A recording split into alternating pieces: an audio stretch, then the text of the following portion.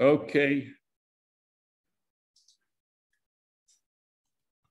So thank you all for joining. This is the first time we are using a Arabic uh, English interpreter. And as of the next uh, simulation, we will also have, hopefully we'll have a Hebrew uh, Arabic, uh, I'm, I'm sorry, English, Arabic and English Hebrew interpreter. So um, thank you all for joining. This is the Israeli-Palestinian Confederation simulation.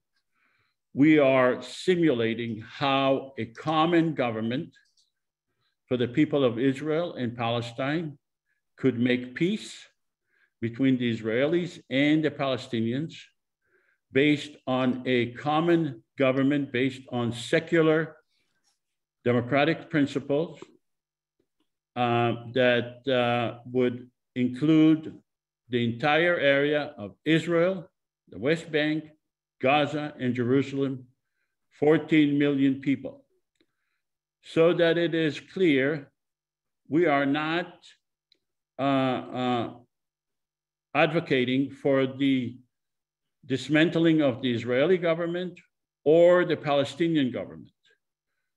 We are advocating for the creation of a common government for the people of Israel and Palestine that would exist side by side with the Israeli and the Palestinian governments. And we are here to demonstrate how this government could function, how it could be democratic, and how it could make peace not only between Israel and the Palestinians, but also with the entire uh, region in, around Israel and Palestine.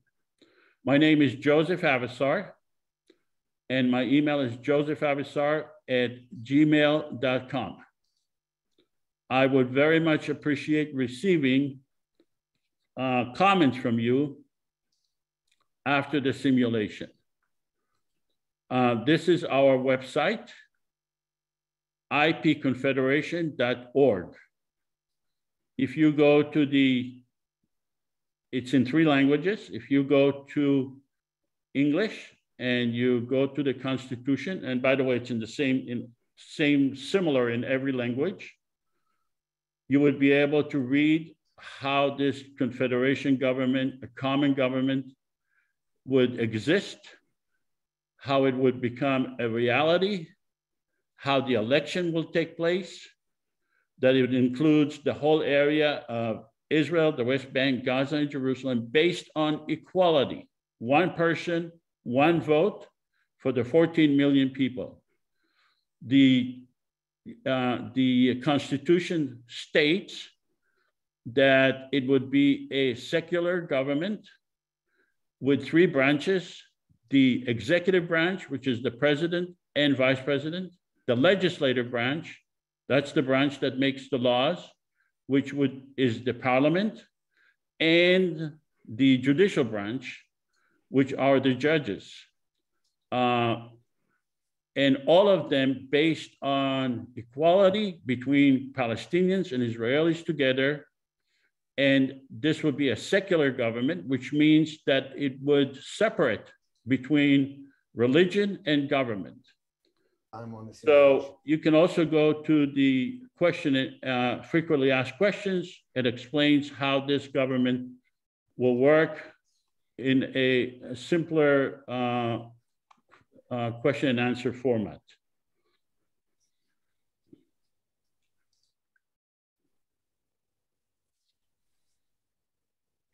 Today we have uh, Jonathan Khatib, Kuttab, I'm sorry, will be uh, speaking about what we will be presenting to him in terms of the Constitution, in terms of the creation of this government, and in terms of legislation.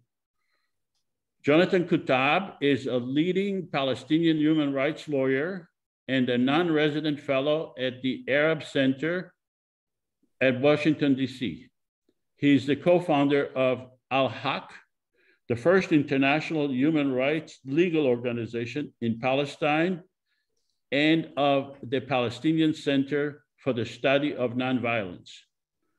Mr. Kuttab is the executive director of FOSNA, Friends of Sabeel North America, a Christian ecumenical organization seeking justice and peace in the Holy Land through education, advocacy, and nonviolence action.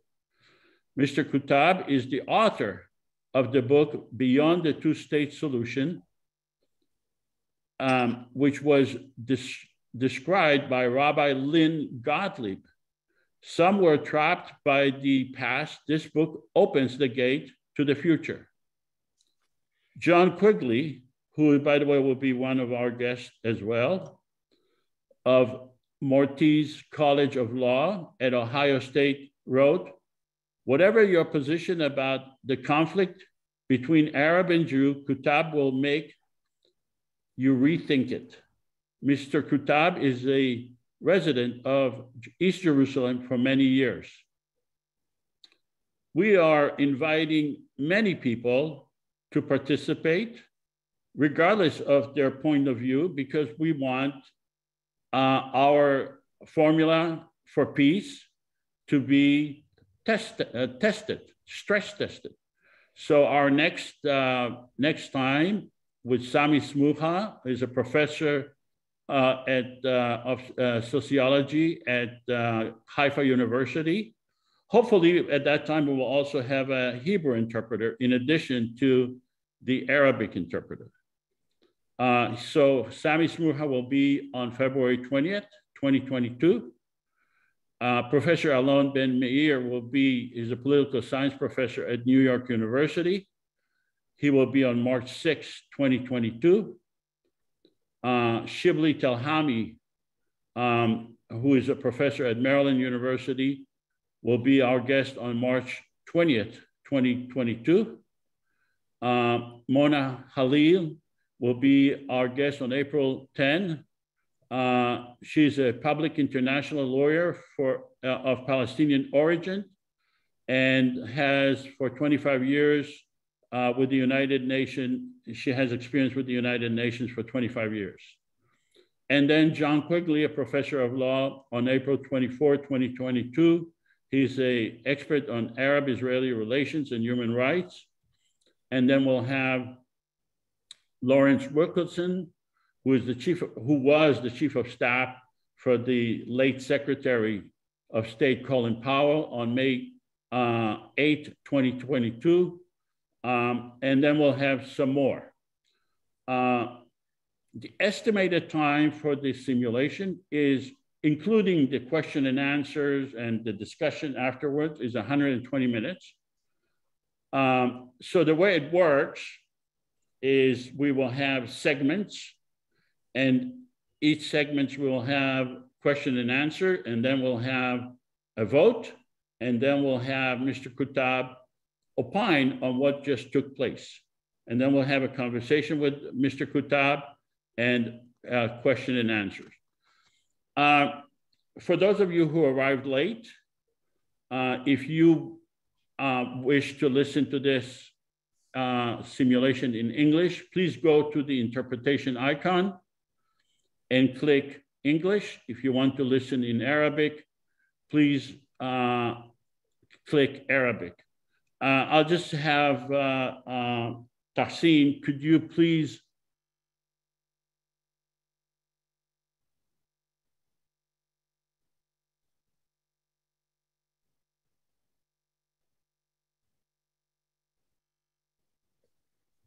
Thank you.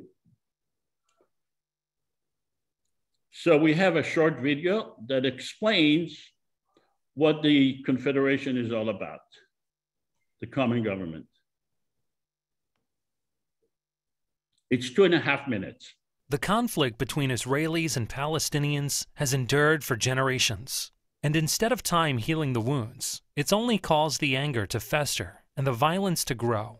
But what if there was a way to alleviate the tension? Something that may not outright solve every problem, but at least create a forum that encourages a peaceful compromise. Welcome to the Israeli Palestinian Confederation, a common third government between the Israeli and Palestinian citizens, specifically designed to foster peace, tolerance, and economic prosperity between the two nations.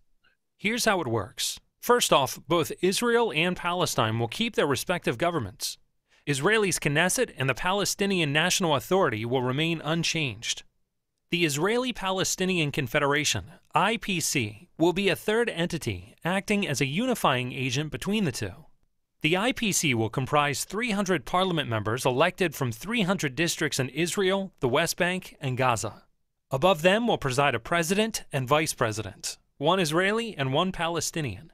In order for the IPC to pass a law, it will require a 55% majority from its Israeli representatives, as well as a 55% majority from its Palestinian representatives, thereby preventing either side from monopolizing the legislature. Of course, the IPC won't undermine the political power of either the Israeli or the Palestinian government. At any time, Israel or Palestine may veto a law passed by the IPC. If neither side vetoes, the law is passed and the two nations are another step closer to resolution. Please help us make this a reality. The Israeli Palestinian Confederation. We might speak different languages, but we all mean the same thing. So, the objective of the simulation is to demonstrate how the common government could make peace between Israelis and Palestinians and the entire neighborhood. Uh, we are not here to have a historical review of who is to blame. We are not anti-Israel or anti-Palestinians. We are pro-peace. Uh, Mr. Kuttab is not a representative of the IPC. In fact, I don't really know what his position is. He was invited to stress test. We are going to present to him the, the Constitution and legislation and we will ask his opinion, but he's not the representative eh, of the IPC. He does not speak on behalf of the IPC. We are pro-peace.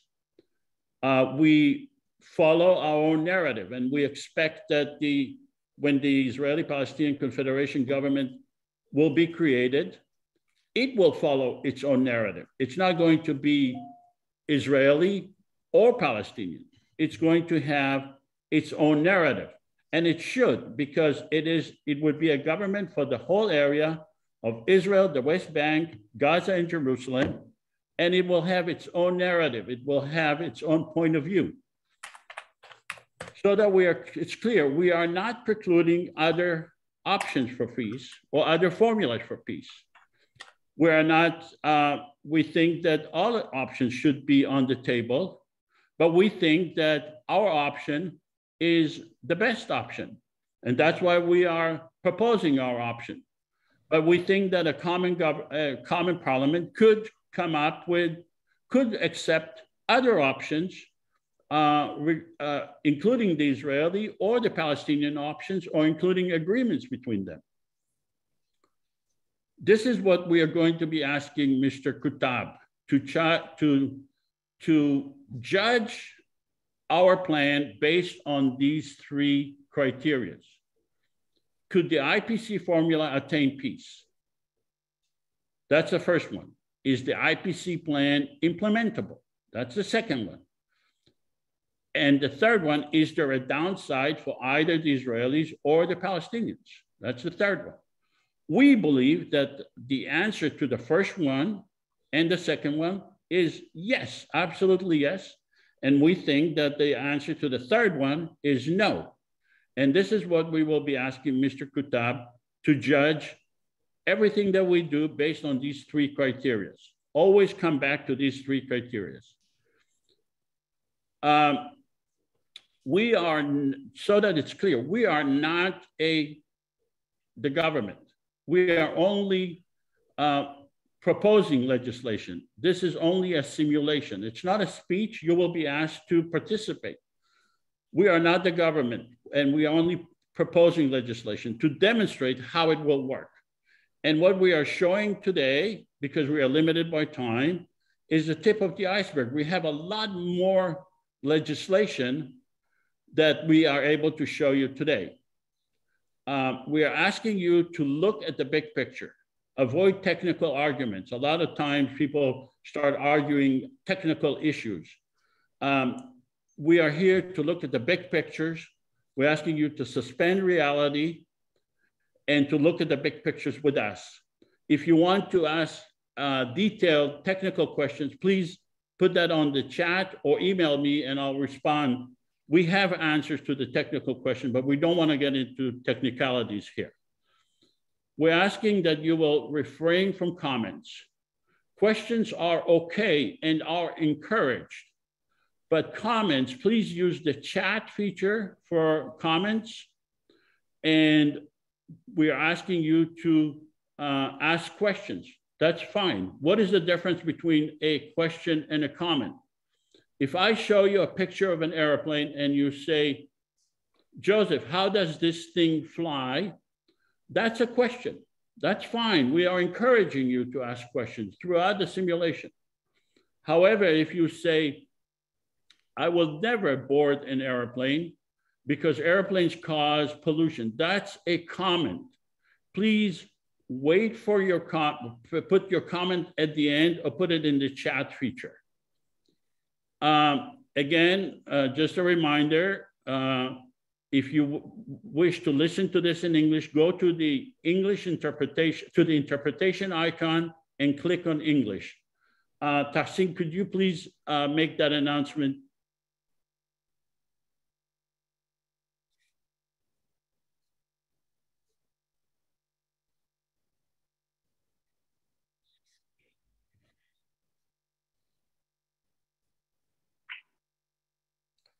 Uh, by the way, we have an excellent interpreter. He interpreted for President Carter when President Carter was in the area, so in, in uh, Israel, Palestine.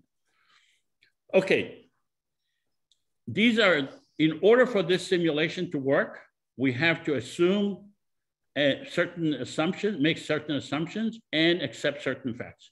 So the first fact is that the Israeli prime minister represents the Israelis only. The second fact is that the Palestinian leaders represent the Palestinian only. These are facts. I don't think anybody would agree with them. However, in order for this simulation to work, you will have to assume certain things. And at the end of the uh, uh, simulation, you can challenge those assumptions. But for the purpose of the simulation, in order to make it successful, I'm asking you to assume these things. First of all, that we had an online elections that uh, for, that ended three months uh, that lasted three months and just ended. And the online election was for 14 million people in Gaza, Jerusalem, West Bank, and Israel. Total 14 million people that was just concluded.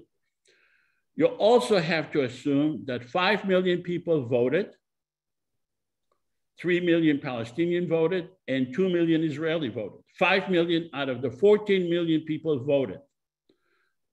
You'll also have to assume that the president received one and a half million votes and the vice president. So you'll have to assume that uh, that uh, me, Joseph, was elected as president. But let me assure you, I do not intend to ever run for president. I'm not even qualified based on the Constitution. But I, in order to facilitate the conversation, I am putting myself as the president. But I, am not planning to be the president in real in in the real situation. So you have to assume that I was elected by one and a half million vote, and a vice president, a Palestinian lady, was elected by 1.3 million votes, and we will have to rotate after two years. She will become the president, and I will become the vice president. And we each have constitutional duties. If you go to the constitution in the website, you'll see each person, the president and vice president have its own constitutional duties. You'll also have to assume that 300 parliament members were elected in Israel, the West Bank, Gaza, and Jerusalem. And I will ask most of you to act as parliament member. Remember, this is not a lecture, even though it probably sounds like a lecture. It's not a lecture. I'm asking you to participate, and I'll ask you to participate even more uh, very, very in a few seconds. If you are a parliament member, you will have to, you represent 47,000 people. You don't represent the entire uh, nation of Israel or the Palestinian. You only uh, you only represent your district, and you'll have to think in terms of benefits to your district.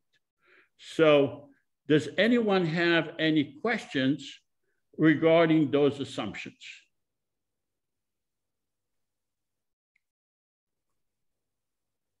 You can ask later.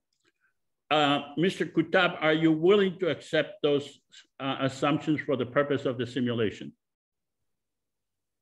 I have no choice. I'm to sorry? play the game, I have to accept those assumptions. I So you have are some- accepting them? I have some problems with with with the whole game. Uh, I think it's fundamentally flawed, but I'll be able to talk about that when I get the chance. Okay. For the purpose of this simulation, are you willing to accept that? I have to. Okay, thank you. Uh, are the audience willing to accept? Is there anyone in the audience that is not willing to accept the simulation, uh, the assumptions? Okay, I hear no complaints. Uh, so the entire simulation is based on the acceptance of those assumptions. Uh, so in order for this simulation to work, I need volunteers. I need someone to act as Prime Minister of Israel, someone to act as Hamas leader, someone to act as a PA leader. And let me tell you what they do, why we need them. We're trying to we're trying to have as as much uh, options in this discussion. So the the leaders, the Israeli Prime Minister, the Hamas leader, and the Palestinian Authority leaders, they will be given in this simulation the power to veto the legislation that we are passing. So that's that would be your role is to to veto or not veto. Hopefully not veto, but you you have to assume the personality of the prime minister of Israel, the political personality, the Hamas leader, the PA leader. You'll have to just enter their shoes and act in this simulation in those capacities. Uh, so the first, and I, I, this time I would like to have people that have not volunteered before.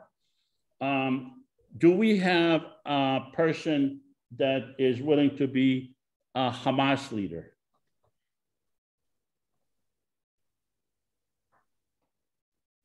Is that uh, I saw Stephen Simon raise your hand. Am I correct?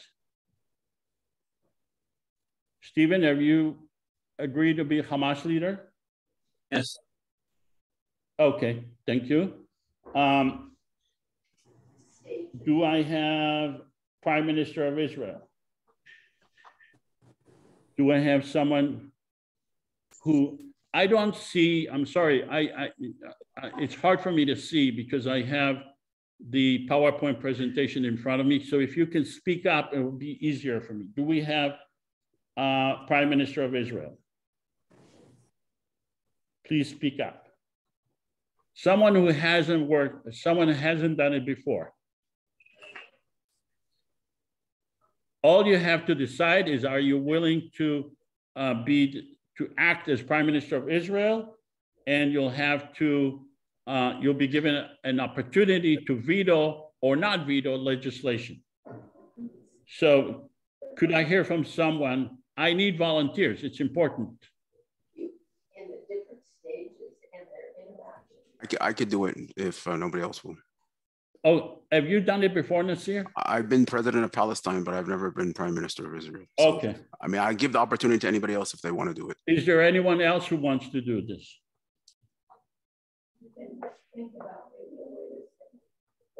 Okay, we, I don't hear anybody else.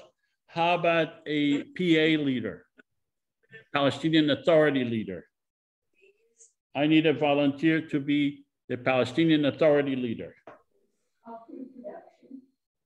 Did I hear from someone?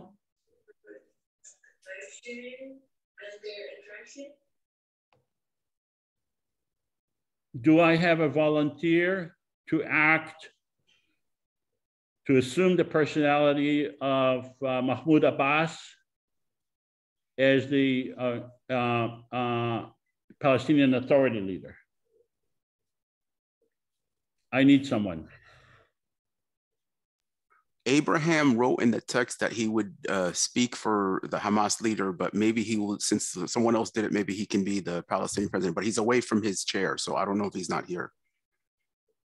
Okay. Maybe we Uh, can ask him when he comes Uh, back. Let me ask, uh, Stephen, are you willing to be the uh, Palestinian Authority leader? Oh, there he is. Stephen? As for myself, it would be much too difficult a task to accomplish. Okay.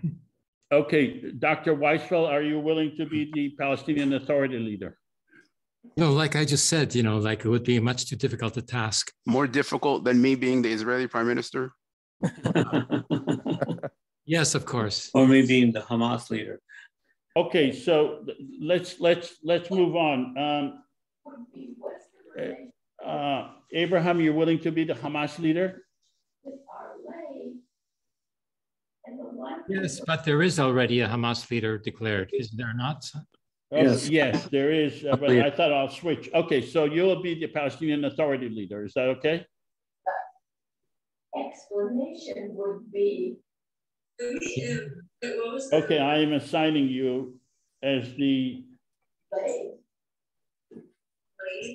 To whom? To whom are you making this assignment? okay, uh, Dr. Weizfeld, you are the Palestinian Authority leader. Oh my, Even you are the Hamas leader. You are the Israeli prime minister. Okay? All right, let's move on. Um, the rest of you, I'm asking you to be either Israeli uh, parliament member or Palestinian parliament members. Uh, you'll have to, I, I brought this map to help you decide what city you want to represent. Um, so you'll have to decide you want to be Israeli uh, parliament member or Palestinian parliament member. Look at this map. You could be a parliament member from Gaza, from Han Yunis, from uh, Ramallah, from Tulkarem, from Tel Aviv. Regard, so if you are from Gaza, for instance, you your constituents, your 47,000 people are Palestinians. But if you are from Jerusalem, they could be both Israelis and Palestinians. And I'm asking you to, to be honest in your own mind, who do you represent? What is your district? Is your district exclusively Israeli or your district exclusively Palestinian? Or is it a mixed district? And I want you to remain, when we take the vote, with that frame of mind of who, who, who is your uh, constituent. And remember, as a parliament member, you don't represent yourself, you represent your district. So let's just take a um, sample vote so it's clear. Let's have the uh, vote, uh, the Palestinian parliament members, please vote first. This is just uh, as an experiment. Please vote, the Palestinian parliament members.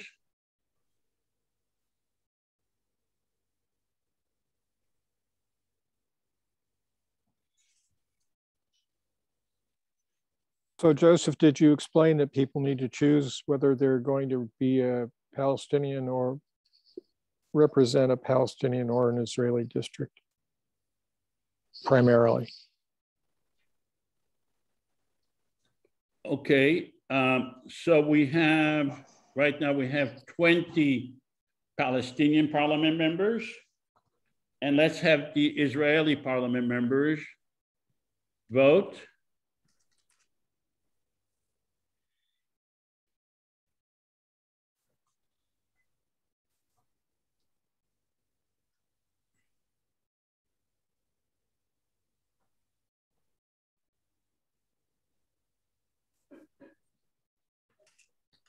Okay, publish the vote. We have 15 Israeli parliament members. now, some of you may decide to not participate until you see what's going on. That's fine. Uh, you can join in later as either Israeli or Palestinian. And let me show you the map one more time. And I'm asking you to decide in your own mind uh, what area you are representing.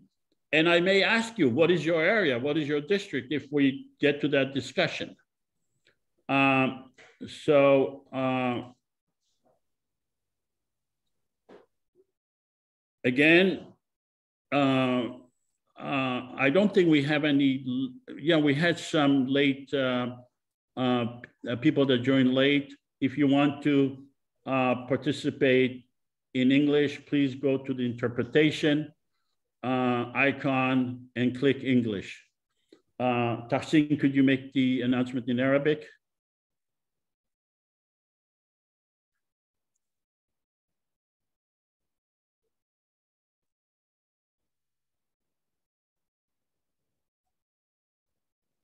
Thank you.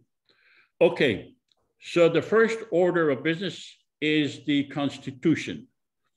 Uh, Libby, uh, this is a two-page document. Uh, document.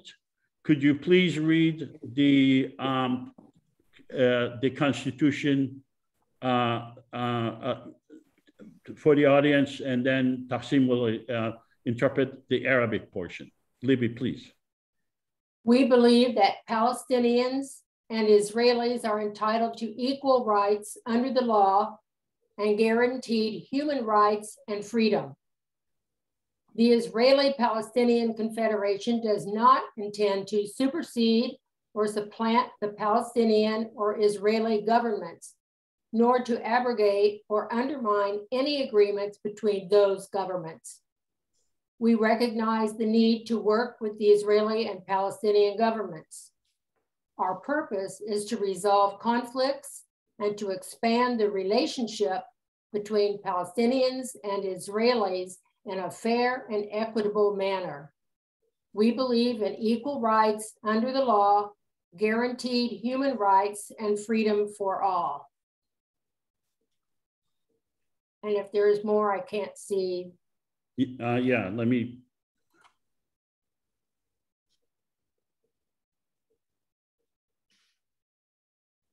Page two. We voluntarily give the legislators and the governments of Israel and Palestine veto power over legislation we pass relating to the domain of control of those governments. We believe in the separation of power between the legislative, executive, and judicial branches. We believe in the creation of a permanent secular government for all the people residing in Israel and Palestine. We believe in having a separate judicial branch relating to IPC legislation with Israeli and Palestinian judges with a system to avoid biased decisions based on nationality. Thank you, Libby. So basically, the important part of the Constitution, this is this is not the language of the Constitution itself. This is a description of what the Constitution says, um, is that the Israeli Palestinian Confederation government, first of all, would not get involved and would not supersede or supplant or disturb any agreement between the Israeli and the Palestinian governments.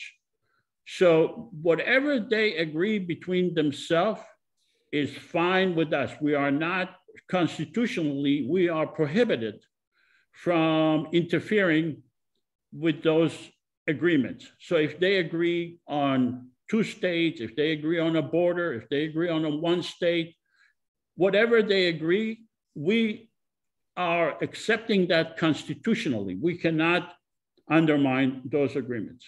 And the second important thing is that whenever we pass legislation that has to do with the domain or control of those governments, those legislation would be given a veto power to the, to the Israeli and the Palestinian government. So if we pass any legislation that interfere with the domain and control of those governments, they will have a veto power. And if they exercise the veto, they will not, th th those legislation will not pass. So that's the important part of the Constitution. Um, does anyone have any question regarding the Constitution? And I also want to encourage uh, those that are listening in Arabic to ask questions. Does anyone have any questions before we take a vote? I have a question. Yes, yes, Hi, Um, yes. Right. Uh, I want to ask a very simple um, question. Yes, Bearing in mind that Israel is not a democratic state, is an apartheid state, um, the fact that um, the uh, Confederation accepts that um, and does not challenge the legislative uh, basis of settler colonialism makes the whole um, experiment. what is the question? odd. Haim, what is the question? The question is how can you have um, a democratic structure when the basis is not democratic? Uh, The, we are a separate government for the people of Israel, West Bank, Gaza, and Jerusalem. The basic of our government is not the Israeli government. It's not the Palestinian government. It is our own government. We are 14 million people in Israel, the West Bank, Gaza, and Jerusalem. What we are saying is we are accepting the Israeli government and the Palestinian government because they exist. And we do not think that it is possible or desirable to dismantle those governments because we do not think that people would be joining our, the, the Israeli Palestinian government if they feel that we intend to dismantle the Israeli or the Palestinian government.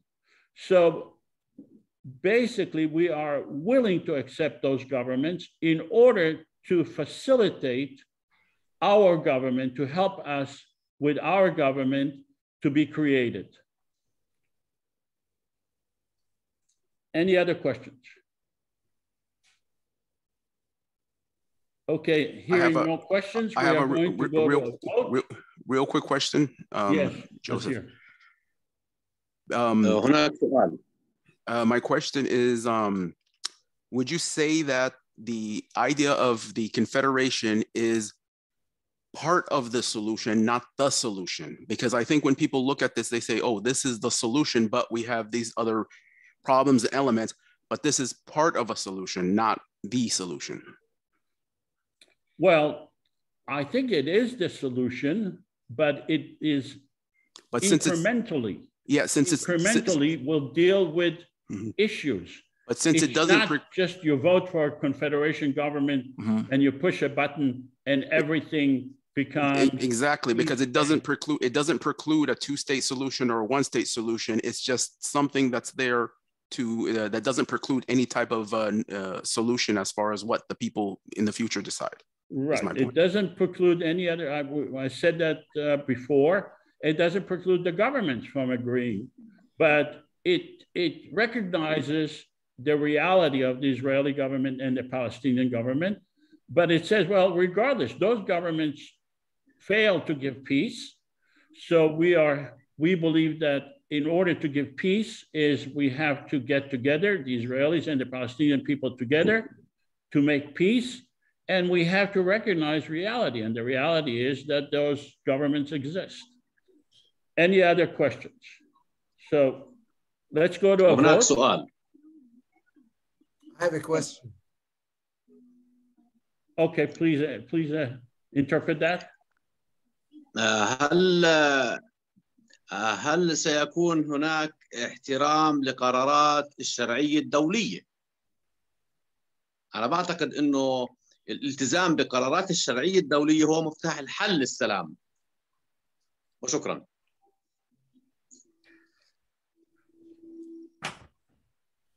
We are not precluding any other resolution. We are not precluding international resolution, but we are saying that for peace, you need to uh, create a common government for the people of Israel and Palestine. Um, as far as other options, we are not precluding them. Any other um, any other um, questions? So let's go to a vote. Jonathan uh, Kuttab had his hand up and wanted to say something. I'm sorry? Yeah. Uh, is, is this constitution part of the assumption for this stimulation? No.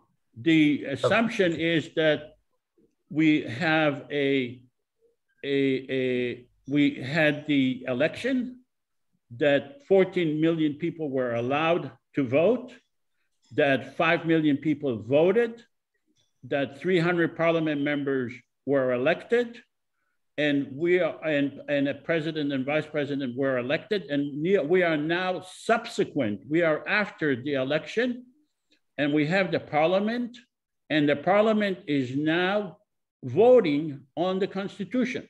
And that's what I'm asking. The, we have Palestinian parliament, we have a parliament member, we have Israeli parliament member. So we are now after the election, and it's after the um, after the uh, assumptions. This is since we already are uh, elected, we are now voting on the on the uh, constitution. Can we have the vote, please? Let's have the Palestinian people parliament member vote first. Do you accept the, do you ratify the constitution? Palestinian parliament members. Okay, can you publish the vote?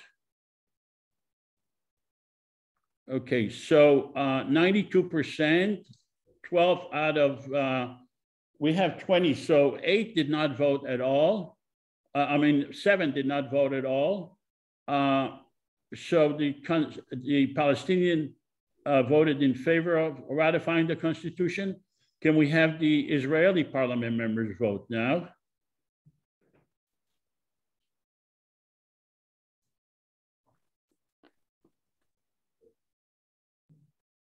Let's publish the vote.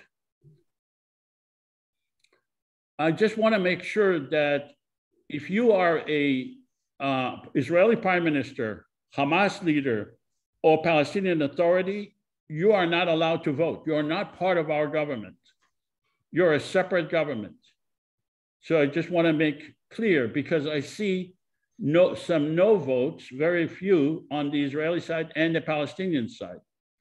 Um, so I suspect that people that are not allowed to vote are voting, but um, 90% of the Israeli parliament members voted in favor of this constitution. Uh, just so that you know in real, if this, in real life, those that voted no uh, will be uh, uh impeached. They will not be part of the Confederation Parliament because you cannot be part of a parliament where you do not accept the Constitution, just like any other democracy. If you are running for Congress or Senate in the United States and you do not accept the US uh, Constitution, you cannot be a senator or a congressman. So those that voted um, no in real life will be expelled from the Constitution, and the person who received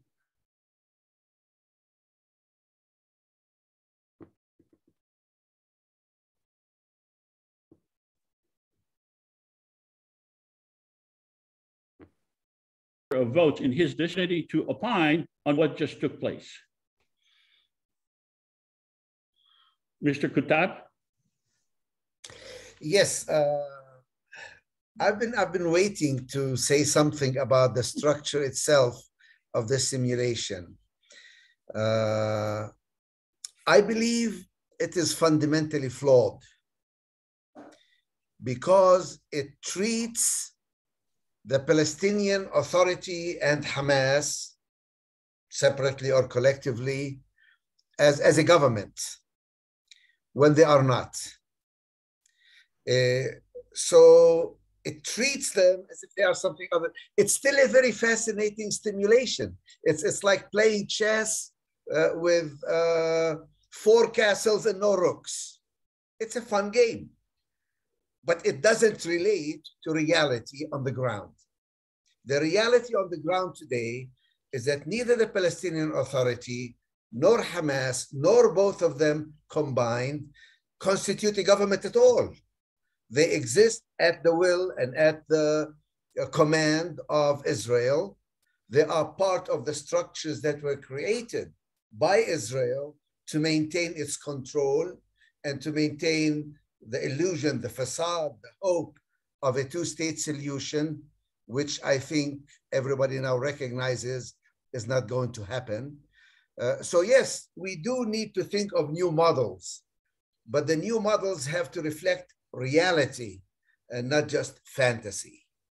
And I'm afraid that this simulation is fundamentally flawed because it accepts a version of what is going on today as if it was reality when uh, it, it, does not reflect the reality on the ground. So you're saying that uh, th that it's the reality on the ground is that the Hamas uh, uh, Hamas and the PA are not real government, and Correct. therefore um, it's Correct. not uh, Correct. They, they, don't have. Okay. Uh, they don't right, have. But, uh, we are a separate government. If there is no, um, it would be up to us, the parliament member. We voted to. So let's go to the next issue okay. and which will deal with exactly what you just said. And first of all, we are a separate government for the people of Israel and Palestine, and we need to uh, pledge allegiance to our government. So I am the president. I'm going to pledge allegiance. I do solemnly swear that I will faithfully execute the office of president of the Israeli Palestinian Confederation and will, to the best of my ability, preserve, protect, and defend the Constitution of the Israeli Palestinian Confederation. So I'm asking you now, the parliament member, Palestinian and Israelis, to raise either your biological hand or your virtual hand and take the oath. I do solemnly swear that I will faithfully execute my duties as a legislator for the Israeli Palestinian Parliament and will, to the best of my ability, preserve, protect, and defend the Constitution of the Israeli Palestinian Confederation. So let's take a vote on that. Uh, it, Palestinian parliament members, do you swear allegiance to the Palestinian Confederation Constitution? Joseph, I'm not getting anything for the poll. Nothing. I'm not getting any polls. Okay, so I see, um, can you publish the result?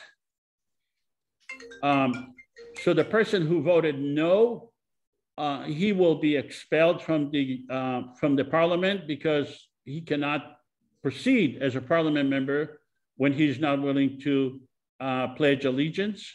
Um, so thank you. Let's have the uh, so just for the record, 93% of the Palestinian parliament members voted yes. Let's go to the um, Israeli parliament members.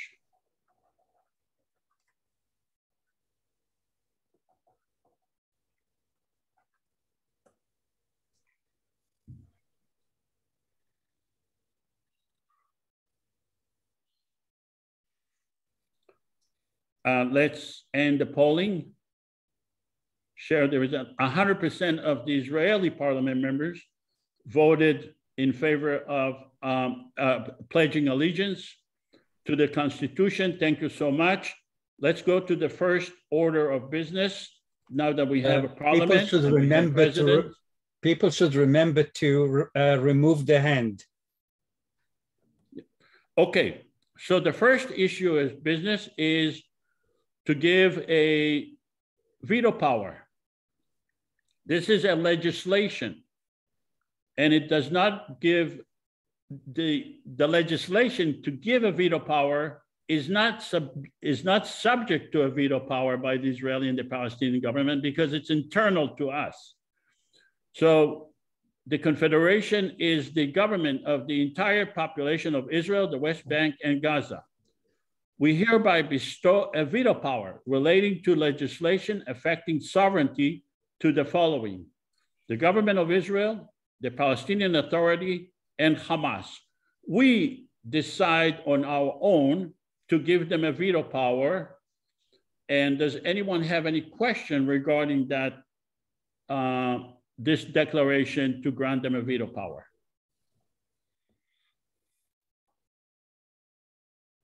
Okay, hearing no questions, I am going to, uh, let's take a vote.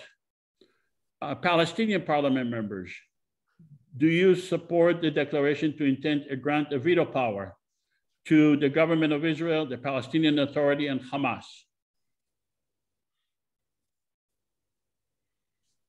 Okay, let's uh, end the polling, publish the result.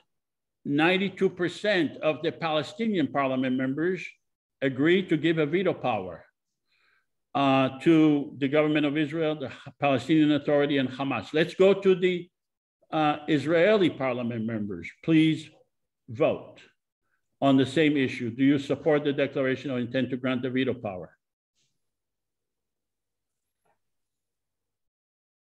Okay, so um, let's publish the result. 100% of the Israeli parliament members agreed to give a veto power uh, so this, uh, thank you so much. So this basically answered what Mr. Kuttab said and Mr. and Chaim said at the beginning. We are a common government, but on we understand the reality and we agreed to give a veto power to those governments, to the Israeli government and Hamas government and the Palestinian Authority. So now, Mr. Kuttab, that your uh, objection it really does not answer my uh, objection because the Palestinian Authority, the agreements that it has signed with Israel, prohibits it from playing this type of game because it specifies concretely that it shall not seek any kind of agreement outside the framework of the signed agreements.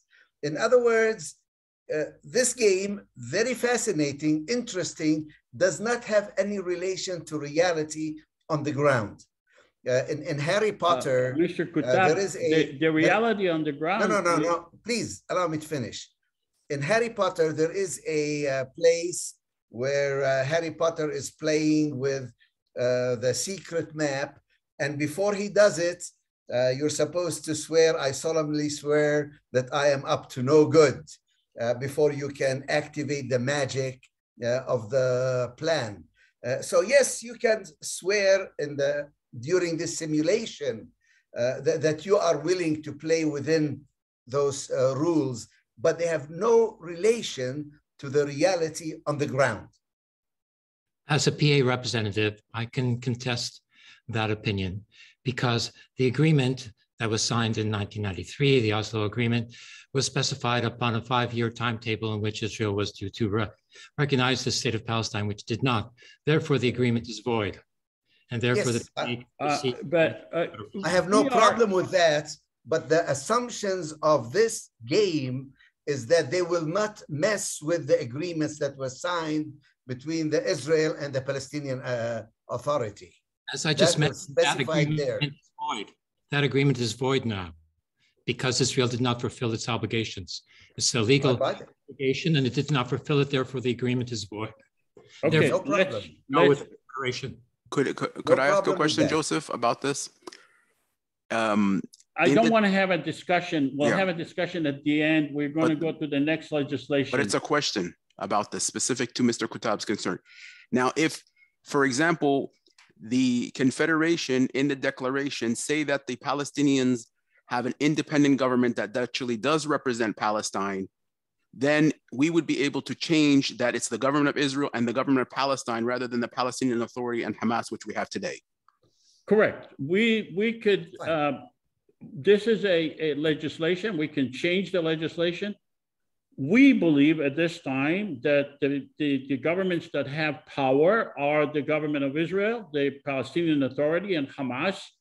And we want to get their cooperation to make peace. Our goal is to make peace.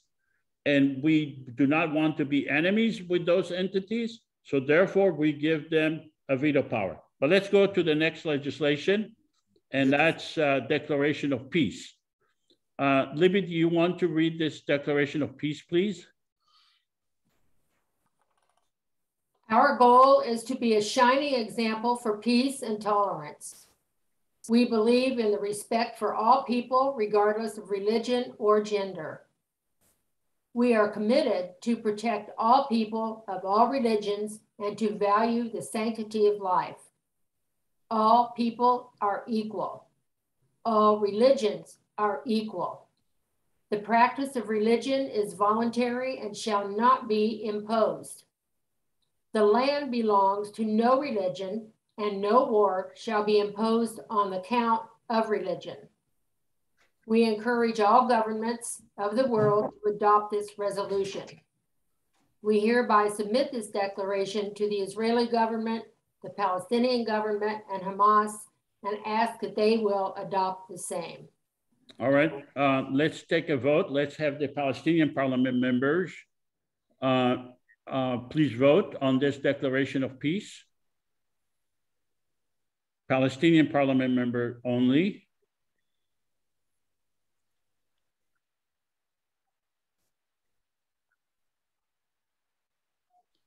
Okay, um, let's publish the result. Um, and um, I, I am just curious, um, who is the um, Palestinian parliament members who voted yet and no? Could you please Uh, identify yourself? It's me, Chaim. And um, what area, are you a Palestinian parliament member? Yes, I'm from Gaza. Okay, and, all right, thank you. So, um, and did you swear allegiance to the um, Confederation? Well, uh, that's a very difficult question to answer. Well, it's either yes or no. It's not a difficult question. It's either yes or no. No, Okay, so you are expelled. You are not allowed to vote. thanks. So I, I, I'm just practicing, but I, I want you to stay. Don't take it personally. But in a real life, if you do not, if you do not agree with the Constitution, you are not allowed to vote. But stay on to the simulation. Let's I'm have staying. the. I'm not taking it personally. Yeah, thank you, thank you. And let's have the uh, Palestinian Israeli Parliament members please vote.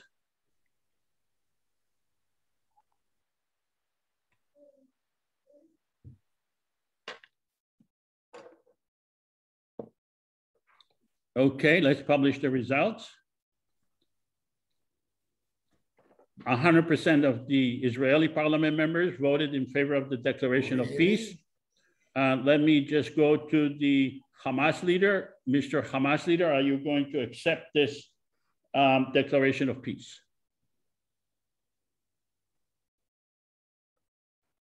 Yes, I accept this declaration of peace. Okay, let's talk to the Israeli prime minister. Are you going to accept this declaration of peace? Yes, it has already been accepted.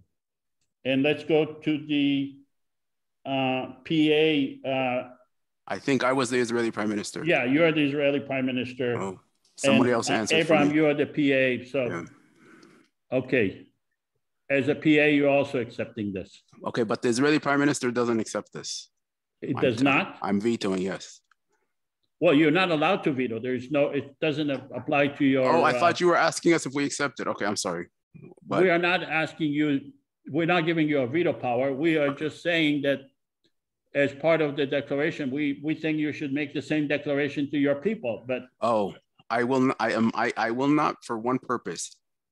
The the land belongs to no religion, and um, this I think my people will have a problem with this because, um, and including Okay. my Muslim uh, constituents and Christian constituents, that there are certain sites and places that belong to those religions, and I need to respect their faith.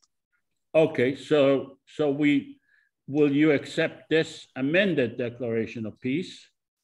Where it says, uh, the practice of religion is voluntary and shall Yes. not be imposed. We respect the connection of all religions to the land and no war shall be imposed on the count of religion. We respect the connections of all religions.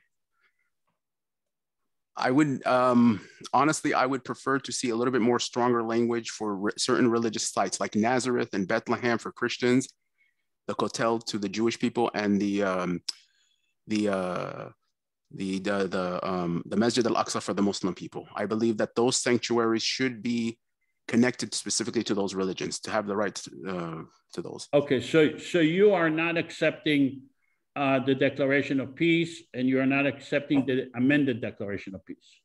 Yes, it needs to be more specific, in my opinion. For my- Okay, um, all right, so, um, since you are not given a veto power and it's, it's a declaration, it's an abstract declaration, I think that it will work against you with your own constituents, but I'm not gonna argue with you about Sure. that, that's your political decision. sure. Let's go to, um, just one more time. Uh, if you want to do the interpretation, please go to Arabic, uh, to the interpretation uh, icon in English and Arabic, all of them in the interpretation icon. Uh, um, Tahsin, could you make that announcement?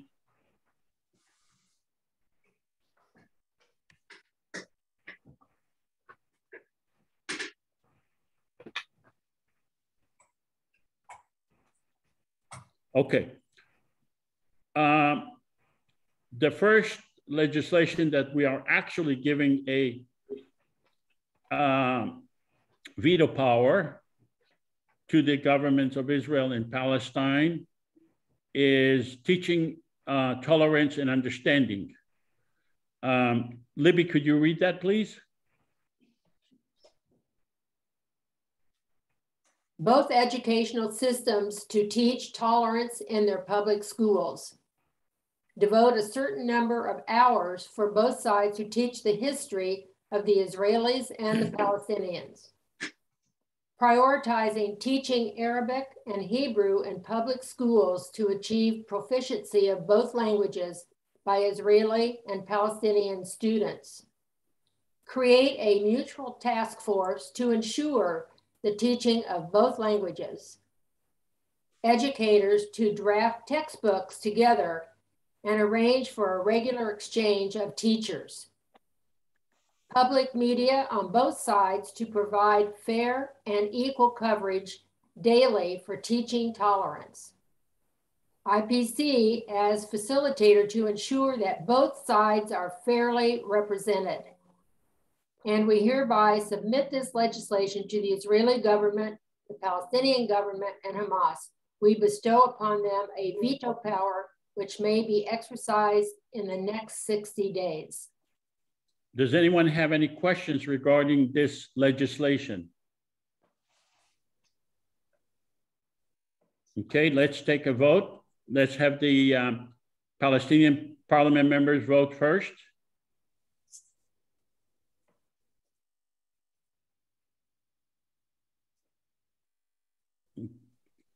Publish the vote. 100% of the Palestinian parliament members voted in favor of this legislation. Let's have the Israeli parliament members vote.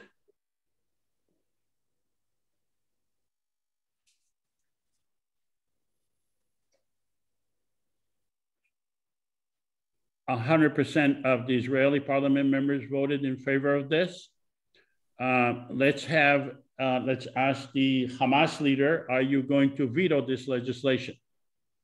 No, Let's have the um, uh, Israeli prime minister, are you going to veto this legislation? I will not veto this legislation. I And support it. the PA uh, parliament, uh, PA uh, leader, are you going to veto this legislation? No veto.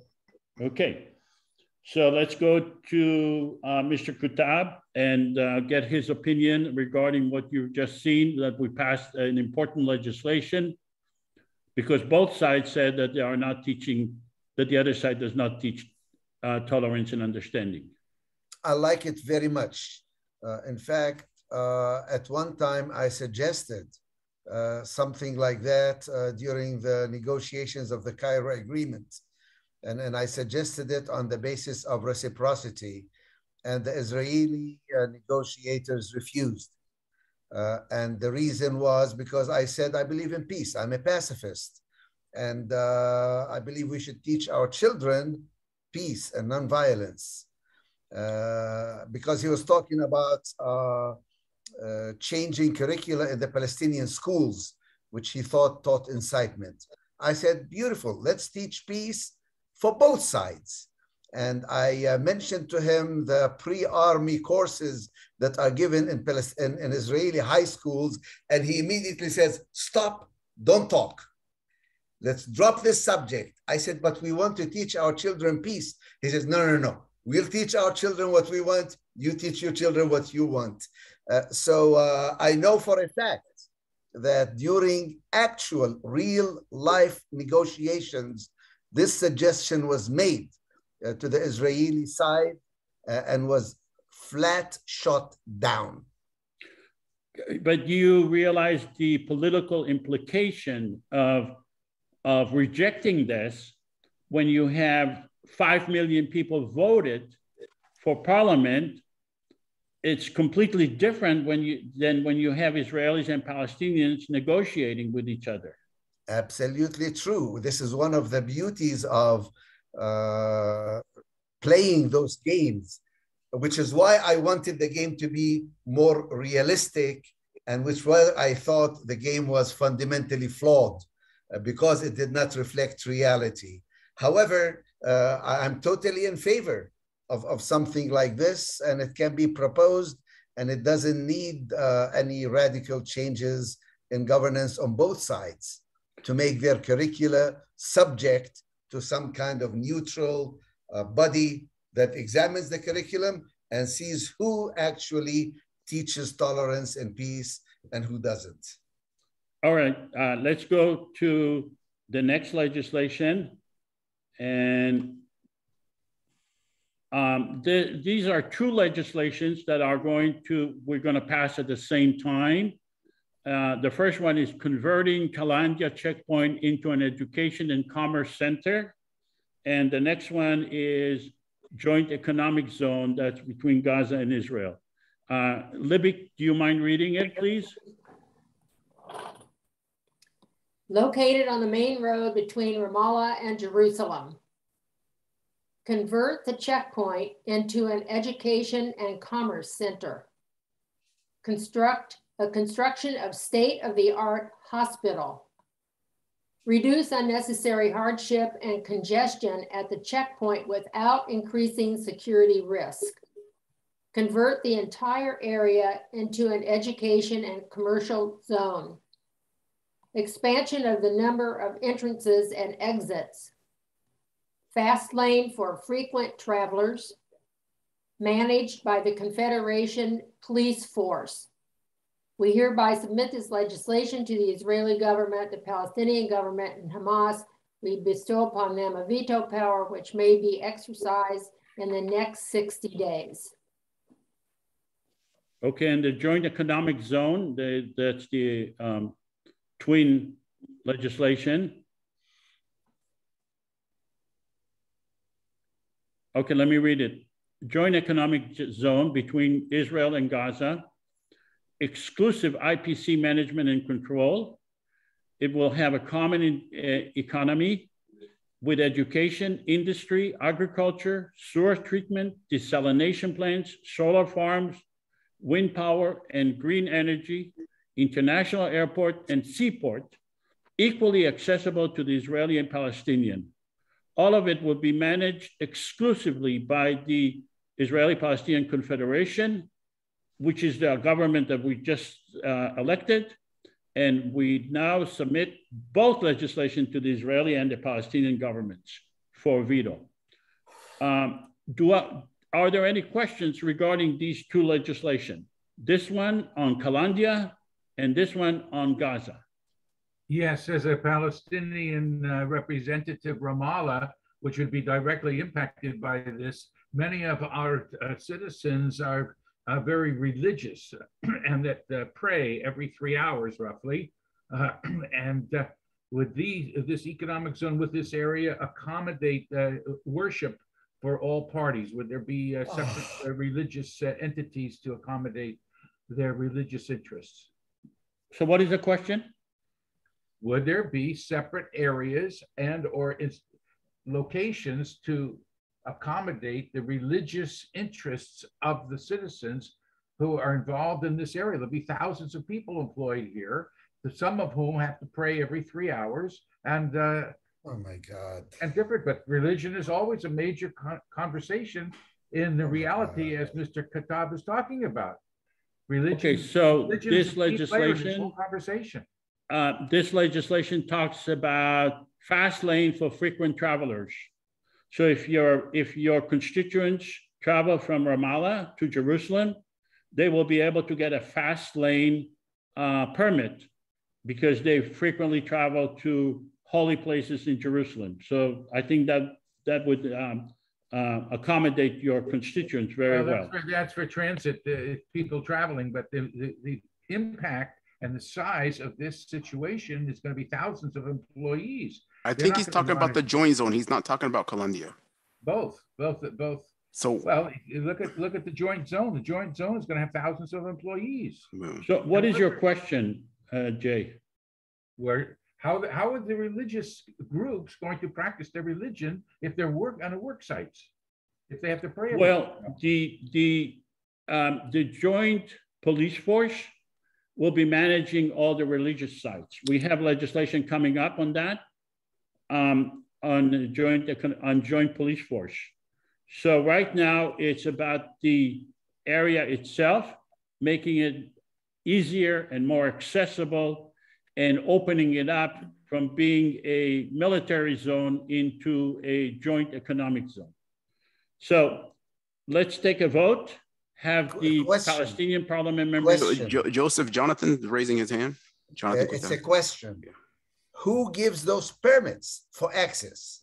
Mm, good. We Israel or the joint force or the Palestinians?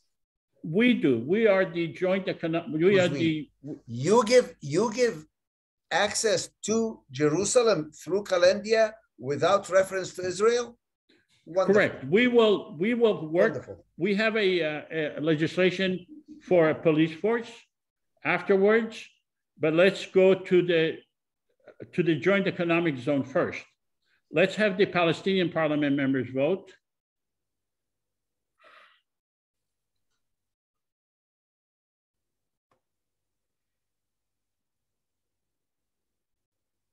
This is for the joint zone or the Kalandia?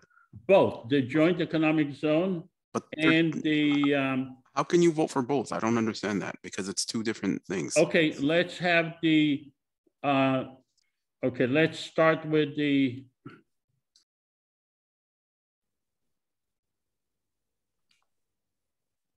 Kalandia. Let's vote on Kalandia first. Palestinian parliament members, please vote.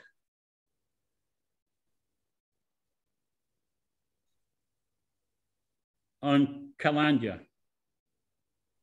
Do you agree with the legislation, Palestinian parliament members?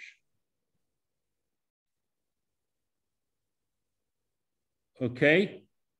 Uh, 13, out- uh, so 100% of the Palestinian voted in favor of Kalandia. Let's go to uh, Israeli Palestinian parliament members.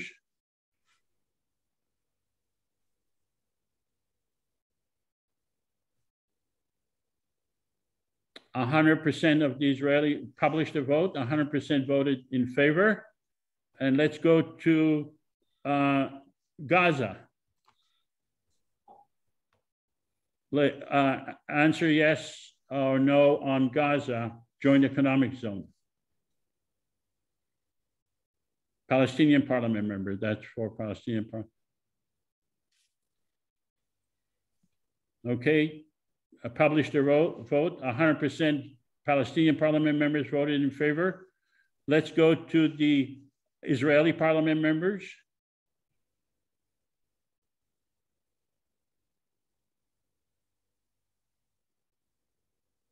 Let's end the polling. Share the result. 100% of the Israeli parliament members voted in favor. Uh, let's go to the Israeli and the Palestinian and Hamas leaders. Ask you, are you going to veto any of these two legislations? Hamas the, leader. The Hamas leader will not veto the legislation. Okay, let's go to the Israeli prime minister. Are you going to veto any of these two legislation? The joint economic zone, I would not veto it, but the Kalandia one, I would veto it for the reason is that I, um, in my scenario, I was voted by a pro-peace uh, party. To me, the Kalandia checkpoint and the wall there is absolutely against peace because it separates Palestinian neighborhoods. If we want to build walls around our neighborhoods, we will build them around our neighborhoods, Israeli neighborhoods, not the Palestinian ones. So, so me, okay, let me speak as a Palestinian for two seconds.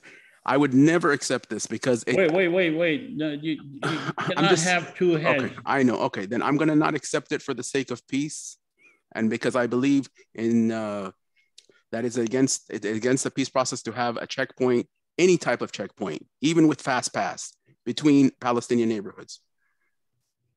As an Israeli prime minister. Yes, because I think it's going to lead to problems in the future to our, our my but people. You are, but you are keeping checkpoints there now that are military fortress type.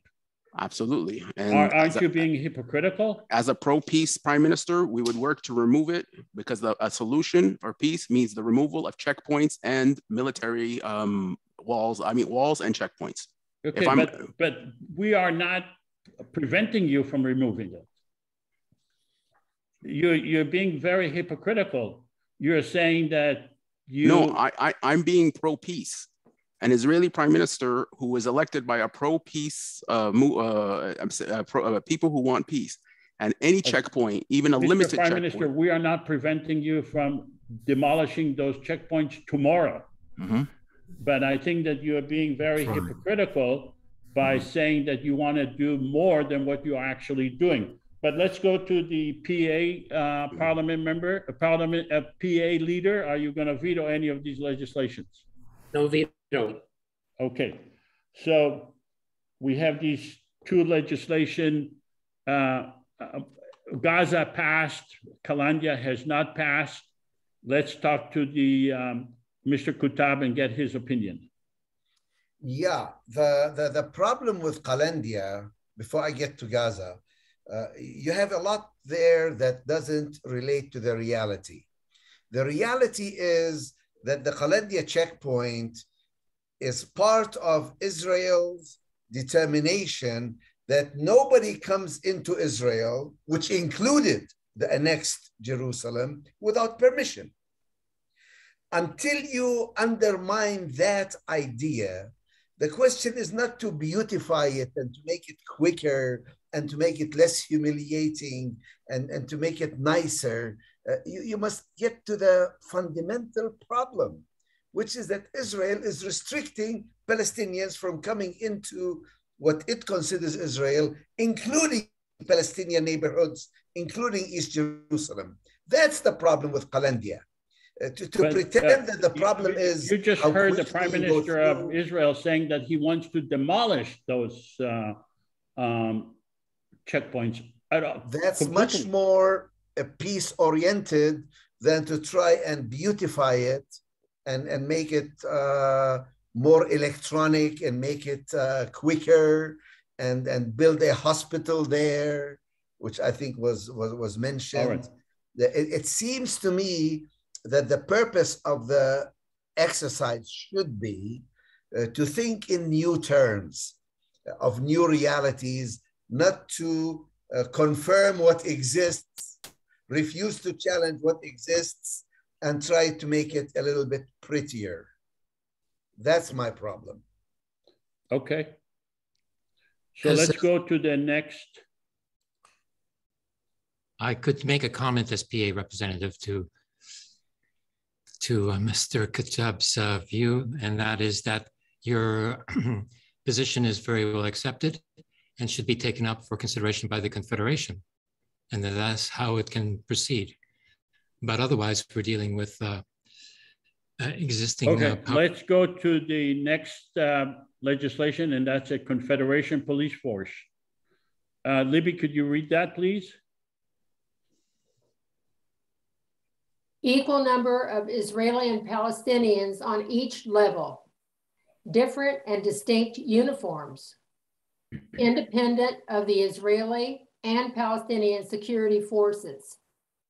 In cooperation with the separate Israeli and Palestinian authorities. Address sensitive religious, cultural, and language requirements. Facilitate the operation of the joint economic zones. Investigate corruption by administrators who refused to teach tolerance. Investigate allegations of intolerance and racist hate crime against Israelis or Palestinians. Assist in managing checkpoints, guard the parliament building and threats against members of the Confederation, and facilitate access to and safety of religious facilities. And we submit this legislation to the governments and Hamas and bestow upon them the veto power which they may exercise in the next 60 days. Does anyone have any questions regarding this legislation to create a common police force? Yes, yeah, I have a question. Yeah, Joseph, what's the re, what's the geographical area we're discussing here? The, the entire West Bank and uh, Israel, or just the uh, security zones and border areas only? What is the geography here? Um, it, it's specified in general terms what would be the duties of the police force but it says that it's in cooperation with the separate Israeli and Palestinian authorities. So the geographic areas will be determined specifically with the Israeli and the um, uh, Palestinian uh, governments. Okay, well, that's what they call a Gordian knot. I'll leave it at that. Well, the um, FBI does not have specific um, uh, uh, uh, uh, a geographic area except the entire United States. This police force will also have a, a, a geographic area, which is the entire Israel, the West Bank, and Gaza. The FBI is U.S. territories in the continental and all United States territory. Right, and this thing and this confederation will be the exact same thing. The entire area of Israel, the West Bank, and Gaza, and Jerusalem. Well, I would I mean, I would vote for this at this point, but in implementation, Mr. Kuttab's point of view on reality, you have to narrow it down, let's say a beginning stepping zone and just discuss uh, some uh, uh, neutral, a calm area to start with to see how it works. Okay, and, uh, no, know, not going to be the. Uh, okay, I, I, don't think you understand that this has to do with legislation that has been passed by the Confederation. They only have authority to enforce legislation that has been passed by the Confederation. Okay, let's leave it. Which was given to them with the consent of the Israeli and the Palestinian governments. Okay. So they cannot stop traffic. They cannot stop a bank robber.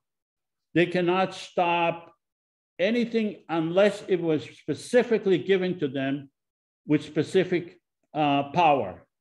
That's fine. The general concept is fine. I agree. Okay, Can let's go to. I would. I uh, yeah. I also have a question. Yes. Um, Hello. Um, I want. Yeah. I want to ask a simple question. Um, well, let's let's ask. Let's have Judith ask the question.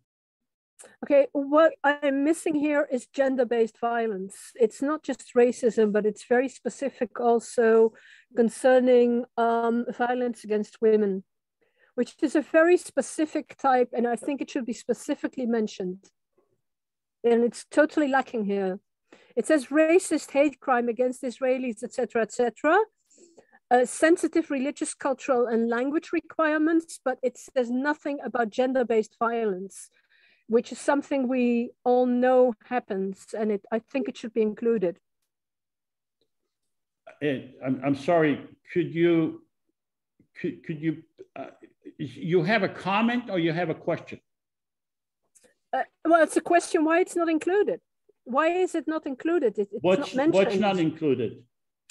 Gender-based violence, okay? Address sensitive, religious, cultural, and language requirements.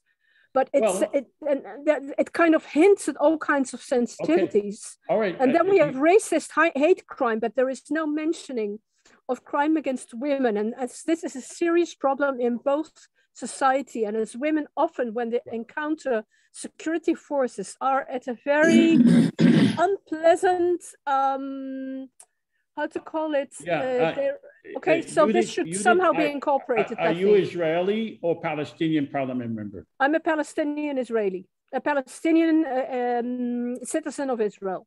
No, right now, are you a Palestinian parliament member or Israeli That's what I, parliament? I'm an Israeli uh, parliament. I'm an Israeli parliament member. Okay. Um, So you are you are Israeli parliament member. What I suggest you do is you um, draft a legislation. I think you're making a very important point, and I suggest you draft legislation specifically for the point you're raising, and um, we would be happy to present that. But Okay. to hold us to the standard that we have to be perfect is not fair. So if you, you are a Palestinian parliament member, please do your job and draft legislation that deals with the issues you're raising. Let's have a vote. Uh, just a second, I had a question. You said to wait. Uh, could I ask it? You have a question, please? Yes. Yeah. Um, bearing in mind that uh, the UN has uh, decided a, number of times that uh, all settlements are illegal, can the uh, Confederation Police Force act against the settlers, um, not just in terms of uh, their daily um, activities, which are hate crimes against Palestinians, but actually against the set the actions of settlements, the, the, the fact that the settlements are against international law. If there is legislation that specifically allows them to act in a certain way against specific individuals or specific groups, absolutely. That could be against uh, extremist groups, against um, on both sides. So it would be required to pass legislation, and that legislation would be submitted to the Israeli and the Palestinian governments. And if they are given that power, absolutely, yes. Let's have a, a, a, Joseph, a Joseph. vote. Joseph, one comment, please, if I may, uh, on this legislation. This legislation is totally silent on the issue of uh, crime prevention. Who is going to uh, take care of uh, controlling uh, crimes in those areas? Are you going to assign it to the specific Israeli police or Palestinian police, and the IPC police will have no jurisdiction over that? Correct. The, uh, the Israeli police remains the police of the Israeli people. The Palestinian police remains the police of the Palestinian people. They have crime issues. They have to deal with it. But the Confederation police has to deal, is, is tailor-made right now to deal with the Israeli-Palestinian sensitive issues and to try to create as much of an atmosphere to um, to have the uh, no veto by the governments. So Let's take a vote.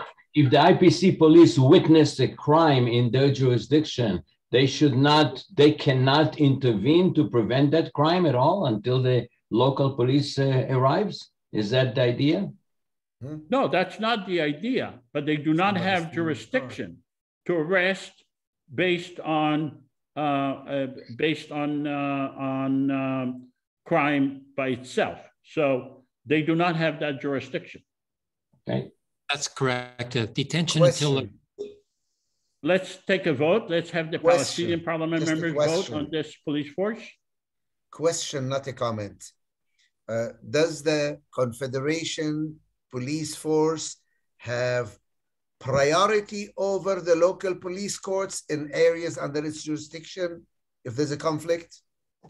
No, if there is a conflict, the, according to the Constitution, the Israeli government and the Palestinian governments have priority over the Confederation. But the So police, I mean, if there, okay. so the, the, the, so the, the Confederation is, uh, by virtue of the fact that they, they need to give a veto power, they do not have priority. Let's take a vote. Sorry. For the Palestinian parliament members, please vote.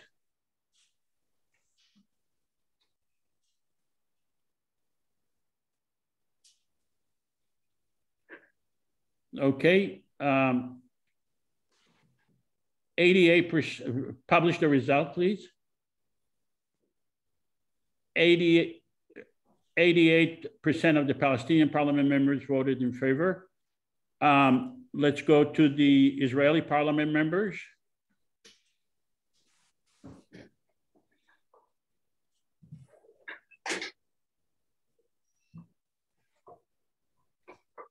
Okay, let's uh, publish the results.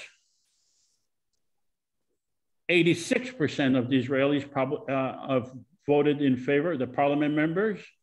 So let's go to Mr. Kuttab and ask his opinion regarding this legislation that was just passed. Yeah, I, I was surprised by your answer. I thought that in areas within the jurisdiction of the Confederation Police, they would have priority over the local police.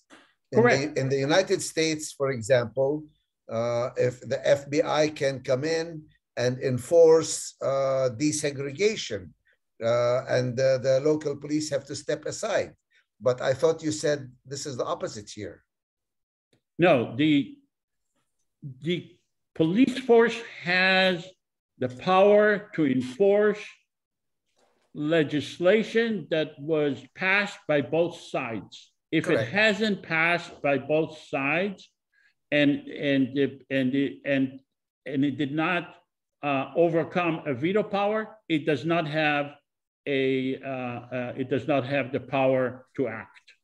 So the police Correct. force, the Confederation Police Force cannot go into Gaza and arrest Palestinians for stealing a car. They cannot go to Tel Aviv to arrest Israelis for stealing a car. They can only go, they can only act based on what specifically is given to them, the, the jurisdiction that is specifically given to them. All right. Let's go to uh, the Israeli Prime Minister. Mr. Prime Minister, are you going to veto this legislation? I'm Israeli Prime Minister. yeah, as, uh, again, I'm, a, I'm acting as a pro-peace prime minister. I'm sorry? I said, again, I'm gonna act as a pro-peace, pro-peace prime minister. The only problem I have with this legislation is the part that mentions checkpoints. We, if, as long as the checkpoints are not within Palestinian areas, I, I, if they are within Palestinian areas, then I would not, uh, I would veto this. If it's between areas, between Israeli, Israeli controlled areas and Palestinian controlled areas, then I would go for it. Okay, uh, the checkpoints are the checkpoints that you created. But um, so Joseph, you muted yourself.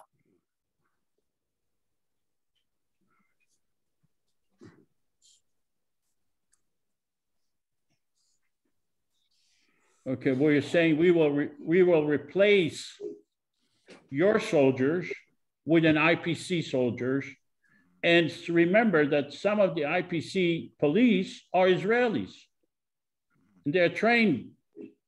Some of them were in the Israeli army. Let's go to the uh, Hamas leader. Are you going to uh, uh, veto this legislation? Hamas leader. And let's go to the PA leader. Are you going to veto this legislation? He's muted. No veto. No, wait a minute. The Hamas leader is not mu- muted. I have a question about the legislation. Okay, the Hamas leader has a question?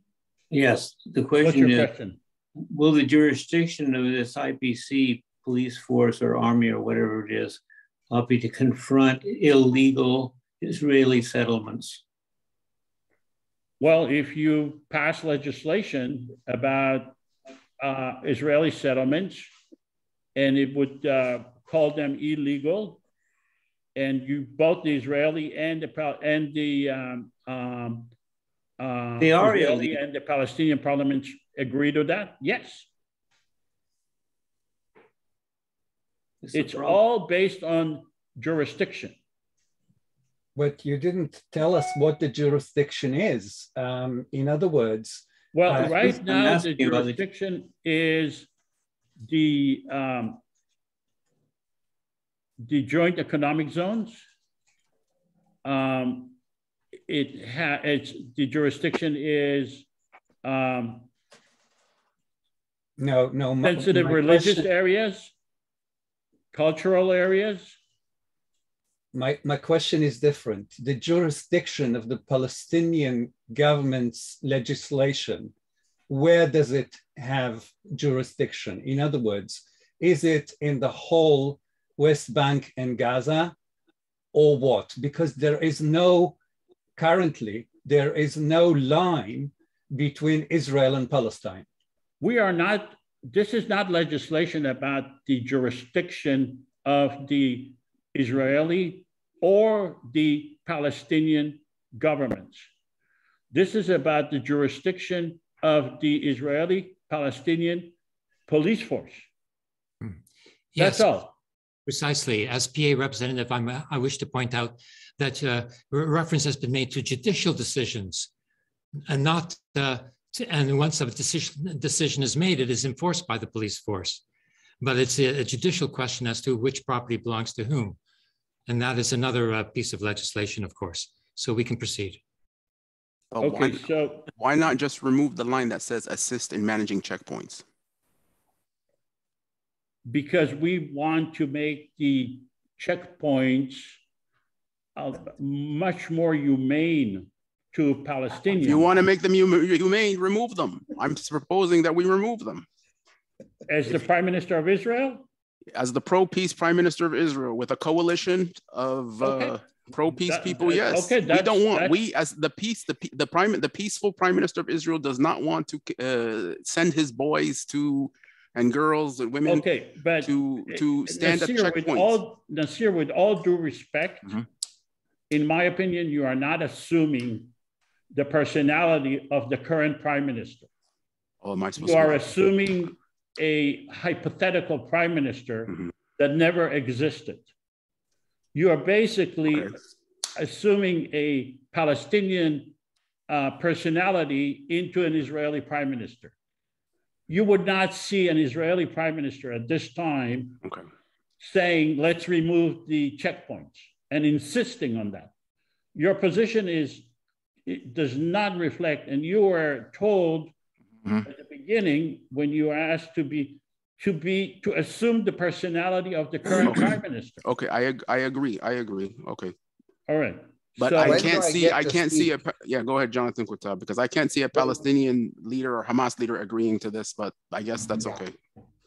I, uh, when do I get to speak? It's been a two-hour uh, Okay. simulation. There's only 15 minutes left. When do I get to speak? Okay, right now, I'm sorry. Um, I'm going to stop sharing and, I- and give you the opportunity to speak. Thank you. Okay. Uh,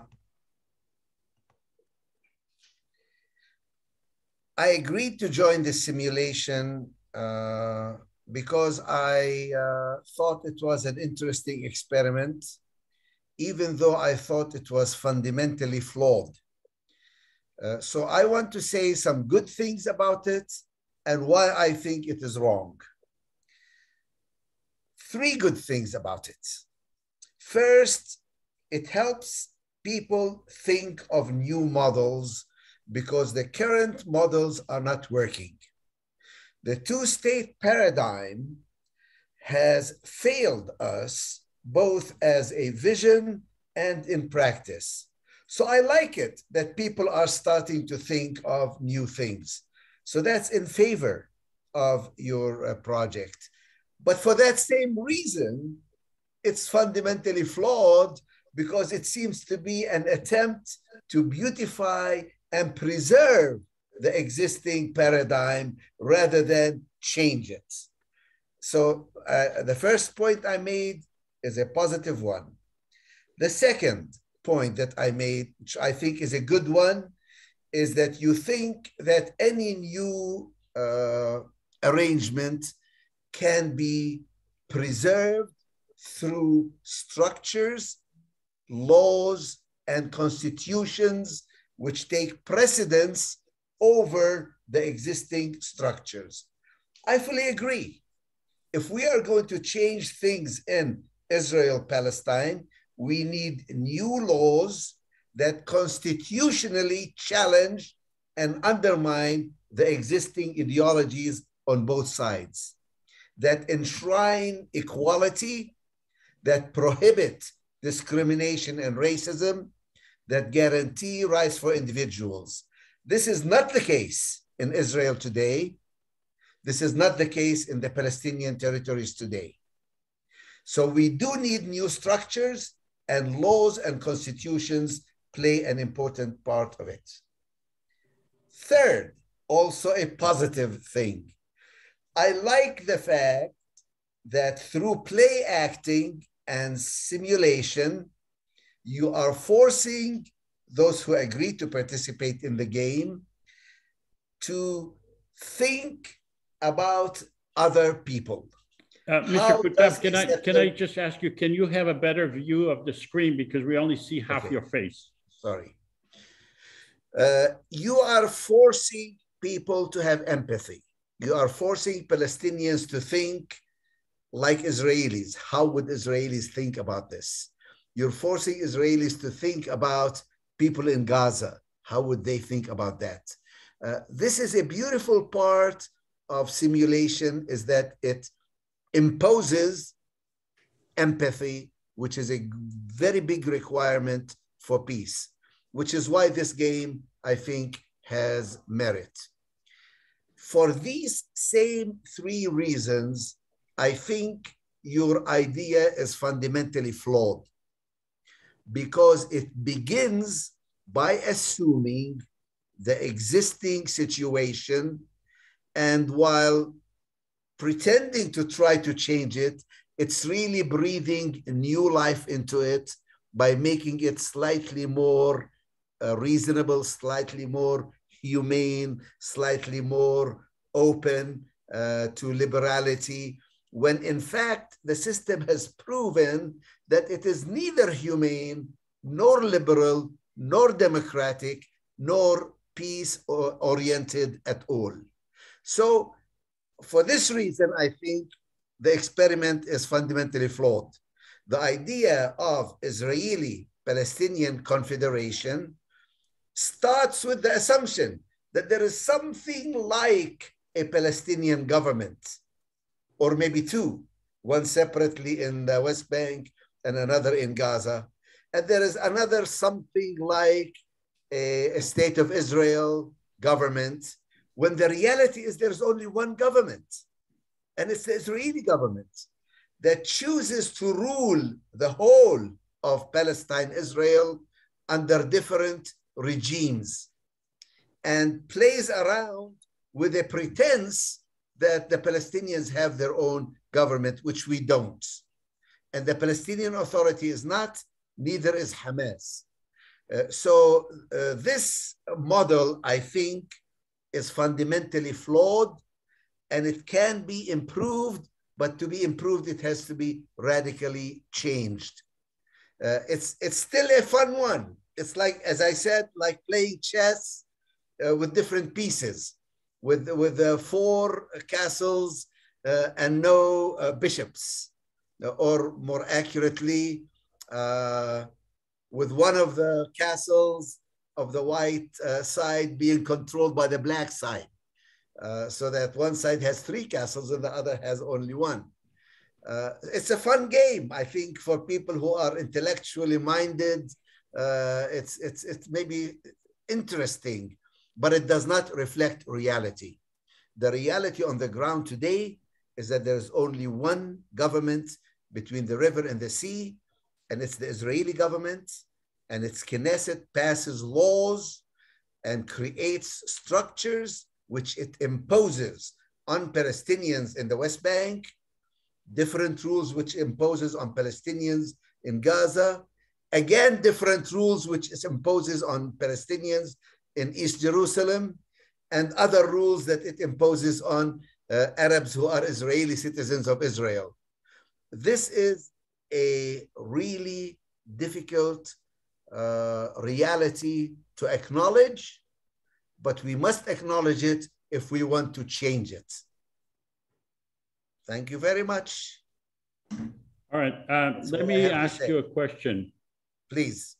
Going back to the criteria that we um, discussed earlier, and that is uh, the three criterias. Is it going to make peace? Is it, first of all, is it implementable? Is this, It's is this plan wrong- im- It's based on wrong assumptions. So how can it be implemented? It's based Well- on the assumption that there is a Palestinian government in Ramallah. There isn't. Okay, but it's, uh, uh, Mr. Kuttab, the first question is, could the IPC formula um, attain peace? So you say, I don't think so because it's based on the wrong assumptions. It's based on a so what, two-state so let's go back to the which has shown itself not to work. Okay, so let's go to the assumptions. Um, is the assumption of online election, um, is that a unrealistic uh, assumption? I think if the Israeli uh, Knesset passes it, no, it's not.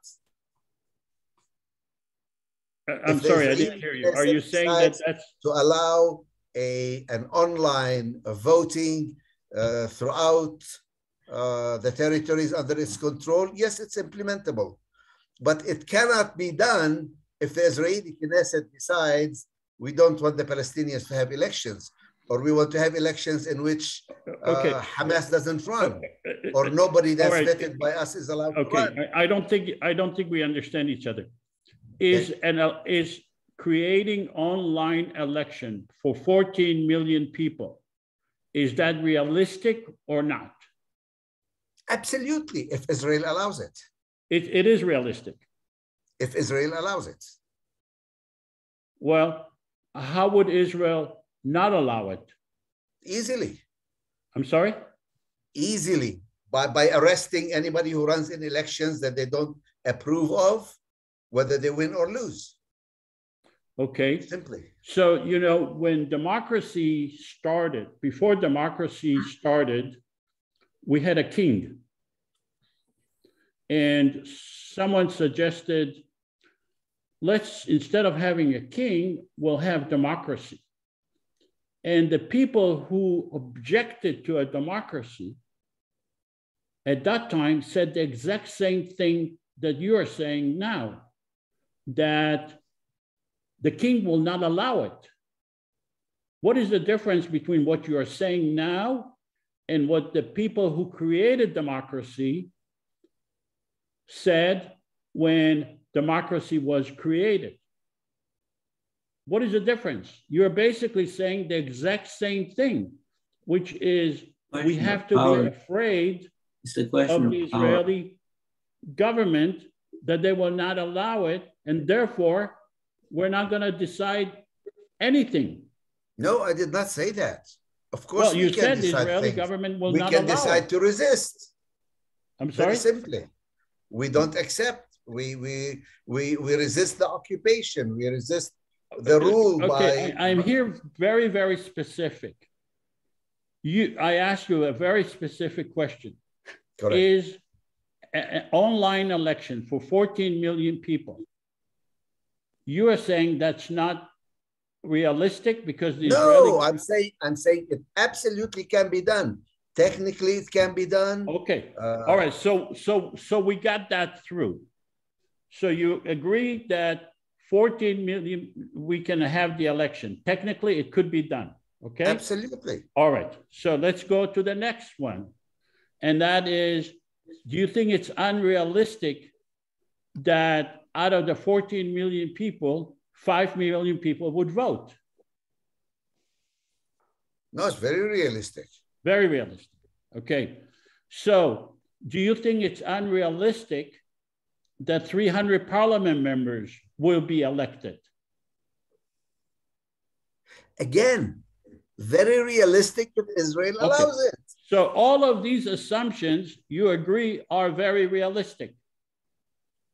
Correct? If Israel allows it, yes. Okay. Absolutely. I asked you a question, and now you're throwing the state of Israel into it. I'm asking, regardless of Israel, are these things are are these things realistic? Regardless, how can you re- disregard Israel?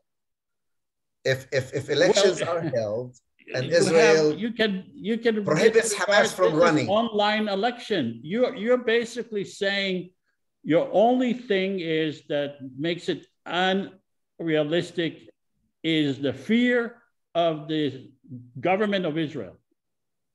Correct. Okay. And first of all, why would Israel object to this? Because What they have legitimate power. reason would Israel have to Because they have object? power, because they have power it's against their interests, come on. Joseph. Because What they have would- the power. What is the, um, why would Israel object to this? You're assuming it will, but I'm asking you, why would they object to it? Well, I think that the ideology that realizes that wanted to create a Jewish state and disregarded the existing Palestinians uh, was based on power. And I think it has failed. And I think it's good to think of new things and to persuade people to think of new things rather than continue with what has failed. Mr. Kuttab, I, I, I apologize. I don't want to put you on the spot. I realize that I do do. put you on the spot, but you are a Please do. lawyer. You can, you can handle being put on the spot. What would, what would you imagine Israel would say if we start the election tomorrow? What would be their um, uh, reasonable explanation to object to this?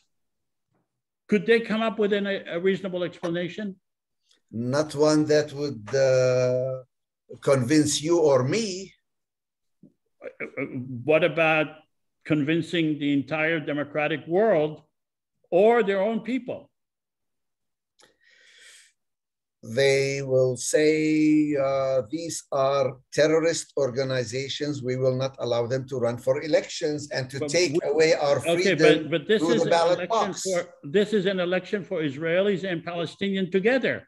It's not a terrorist organization. It's, we have everything online.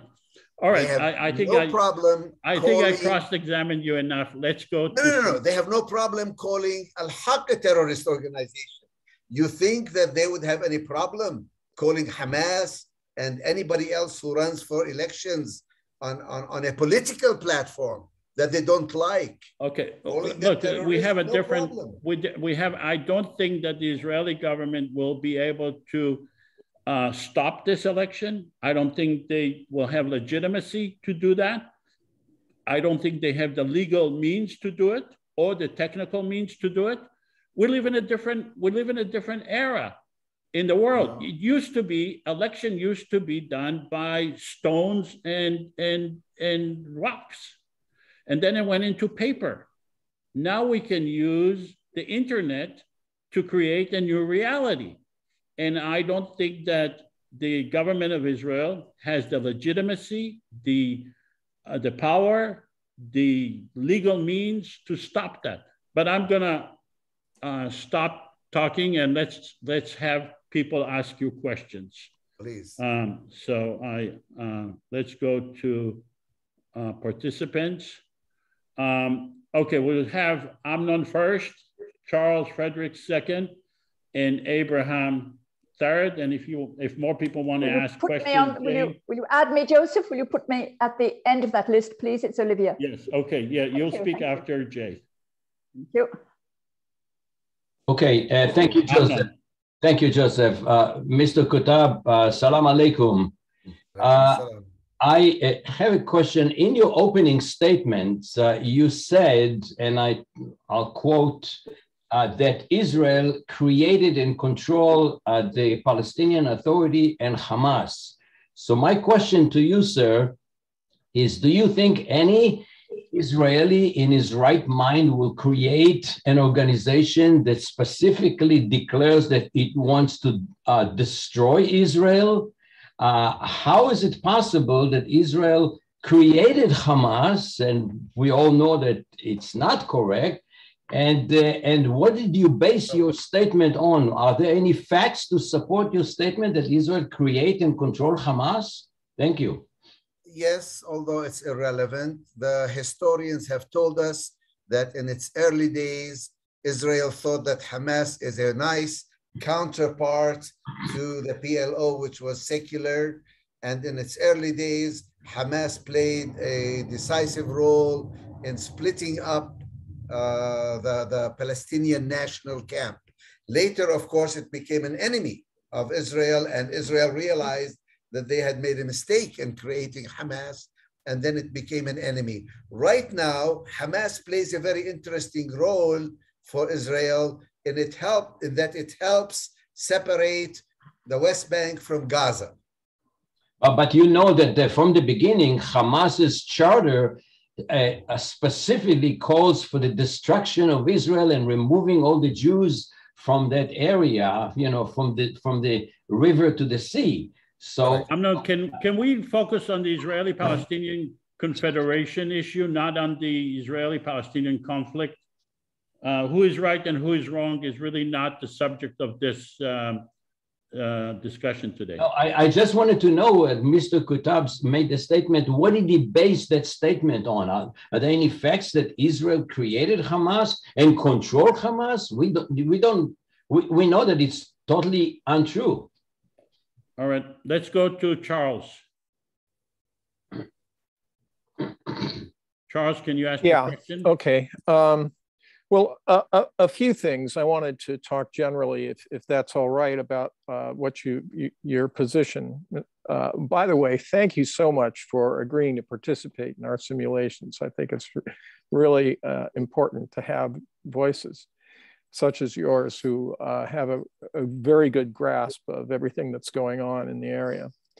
Um, Sun Tzu in The Art of War talks about the fact that uh, if you don't give your enemy a bridge to retreat across, they will fight you to the death. And um, if you look at the situation of Israel today, everything you're saying about their power, their control is, of course, true. However, we all agree that this is an inhumane situation. And Amnesty International has just come out uh, declaring that the state of Israel is an apartheid state. And the um, American Secretary of State has been challenged by reporters saying, who denied Amnesty's report, saying, well, look, you agree with Amnesty when it comes to China and Burma and this and that. And you're citing Amnesty in your in your State Department reports, and now you say that what they're saying about Israel is wrong. So this situation, uh, as it has progressed, is not static. And the idea that um, there may, the Israeli government may have a reason to want to agree to something like the IPC if it sees it as a way that it can continue its control while uh, acceding to basically the demands of the international community and the Palestinians.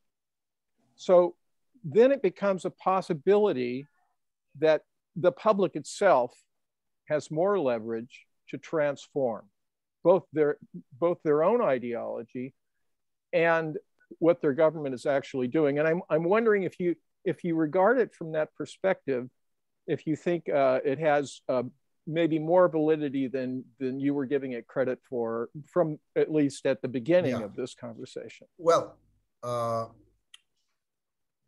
first, my appearing on this uh, program does not endorse the IPC. I think that that's clear. Uh, my objection to the IPC is that it doesn't go far enough. It starts by assuming and not challenging structures which need to be challenged. It starts by prolonging the life of a two state paradigm that has faltered and collapsed. That is my only objection. But to say that we need to change and that the change has to be gradual, uh, I agree with. And to say that there is more popular support for a just solution than one can see is true.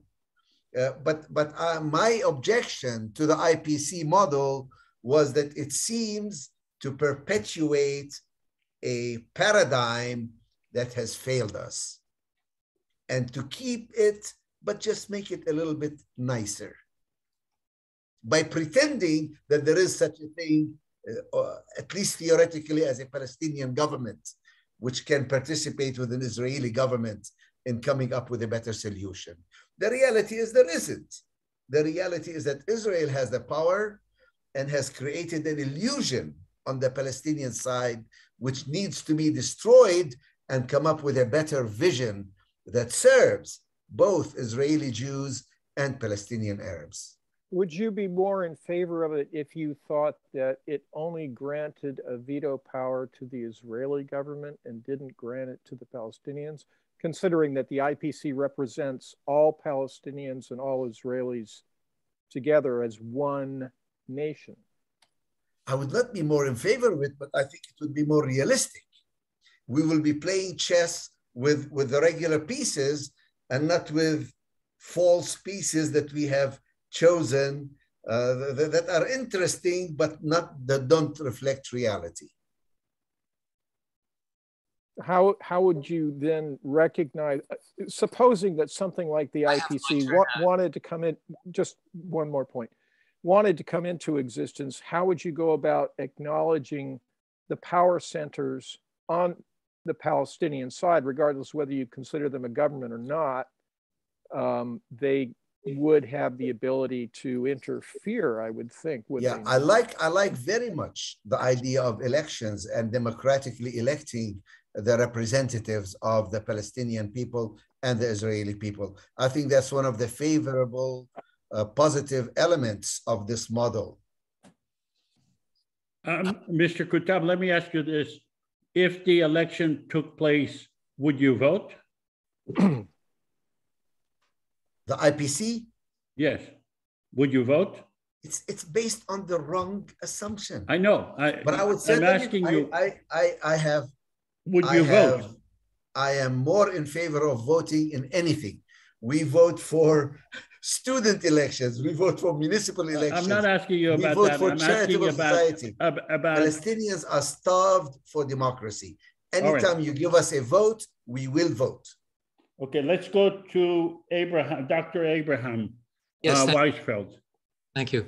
Um, Mr. Kuttab, uh, I think that there's a, a, sort of, you know, conflation made of uh, what we are proposing, you know, in terms of constitutional law, as opposed to a political solution. I don't think that we have a political solution. It's something to be invented by a constitutional apparatus, which we're calling confederation at this point. So I don't think there's any need for, for any further confusion on that point. But you know, if you wish to consider, you know, uh, a political solution that some do, you know, called a one-state solution, how could this possibly be imposed on Israel other than by means of war? Therefore, the idea, the project of a liberal democratic society in which everybody has equal vote is contradicted by the very means by which it is supposed to be implemented. So that's why I think that that's a utopic, you know, impossible situation and has misled many people to uh, you know, waste their time on. Yeah, well, uh, utopian ideas uh, are, are often challenged as being unrealistic. And the only thing I can say to you is, is to quote uh, uh, Theodor Herzl, Im tirzu ein zu agada. if you really desire it, you can make it come about. You do have to have a vision. You do have to have an idea that commends itself to people of goodwill on both sides that we can work towards. So maybe you should read my little book, Beyond the Two State Solution. It's a very short one. It's just been translated to Hebrew and Arabic. Uh, you can download the English uh, for free from non uh, Nonviolence International website. Thank you. I uh, know about your book. It is a bit utopian, I agree, but it's a vision that we can work towards. All right, uh, let's go to Jay. I'd recommend to you to read my book as well on the Federation. Be glad to. Let's go to Jay Johnson. Jay. Yes, I'd like to uh, actually look directly at uh, Olivia Southward. I think Olivia, you're in London, aren't you? You're uh, you're um, muted. You have to unmute. Olivia is in Italy. Okay. I live in Italy. I live in Italy. Yes, hello. Nice to see you. Well, the, the point is, I'm, I'm trying to argue in favor of what I'll call an, a mini IPC because in Los Angeles, where we are, uh, you know, what, 10 million, 15 million people in LA was in many respects ungovernable. Yeah, what is it? Uh, 20 members of the city council, etc. They established two things. Uh, neighborhood councils was one thing, where they had local elections in uh, small, uh, relatively small geographic areas based on communities of interest. And consequently, in certain business areas, they came up with business improvement districts where the different merchants would get together on a particular neighborhood uh, as well and uh, organize uh, for the improvement of their area. Now, if you apply the mini IPC idea, I think in very small segments, particularly in border areas. I'm thinking of them tearing down the olive groves where the walls are, as an example, uh, where people could coordinate and work on the, the, real small nuts and bolts, building block, uh, if you will, uh, startup ideas. Start small and build and build up. Do we uh, are those types of things existing in uh, West Bank, Palestine today? Number one. And number two, Olivia, in Italy, I suspect they're the same thing. Just like we have members of this group from Madrid and from London, they have these kinds of uh, neighborhood councils and, and business improvement districts that are in many cities throughout the world. Yes, I think you're talking about uh, grassroots associations. I do agree with you. They exist in lots of places yeah. in Europe. They can be very successful. Yes, it's, it's a whole separate issue, and, and thank you for raising it. Certainly, grassroots associations with the people who want to change their lives, by the people who want to change their lives, yes, they are very, very interesting, very interesting indeed. Thank you. Thank you. Okay, does Mr. Kuttab have any response to that? Do those things exist already or not? I'm not familiar with uh, Italian uh, things, but I know that uh, many times, you know, you can start small and build big. Uh, my problem is that there has to be a, a basic integrity to the process, that it's not just a fake. That yes, simulations are fun, and and and and uh, as I said, I'm in favor of them, but they have to be based on reality and and not just totally fantasy. Thank you.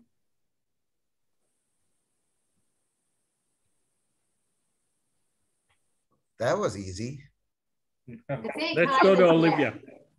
Oh, thank, thank you. Um, have, sorry, yes, I'm, well, uh, hello, Mr. Kuttab, and thank you very much for being with us and for your generosity of time.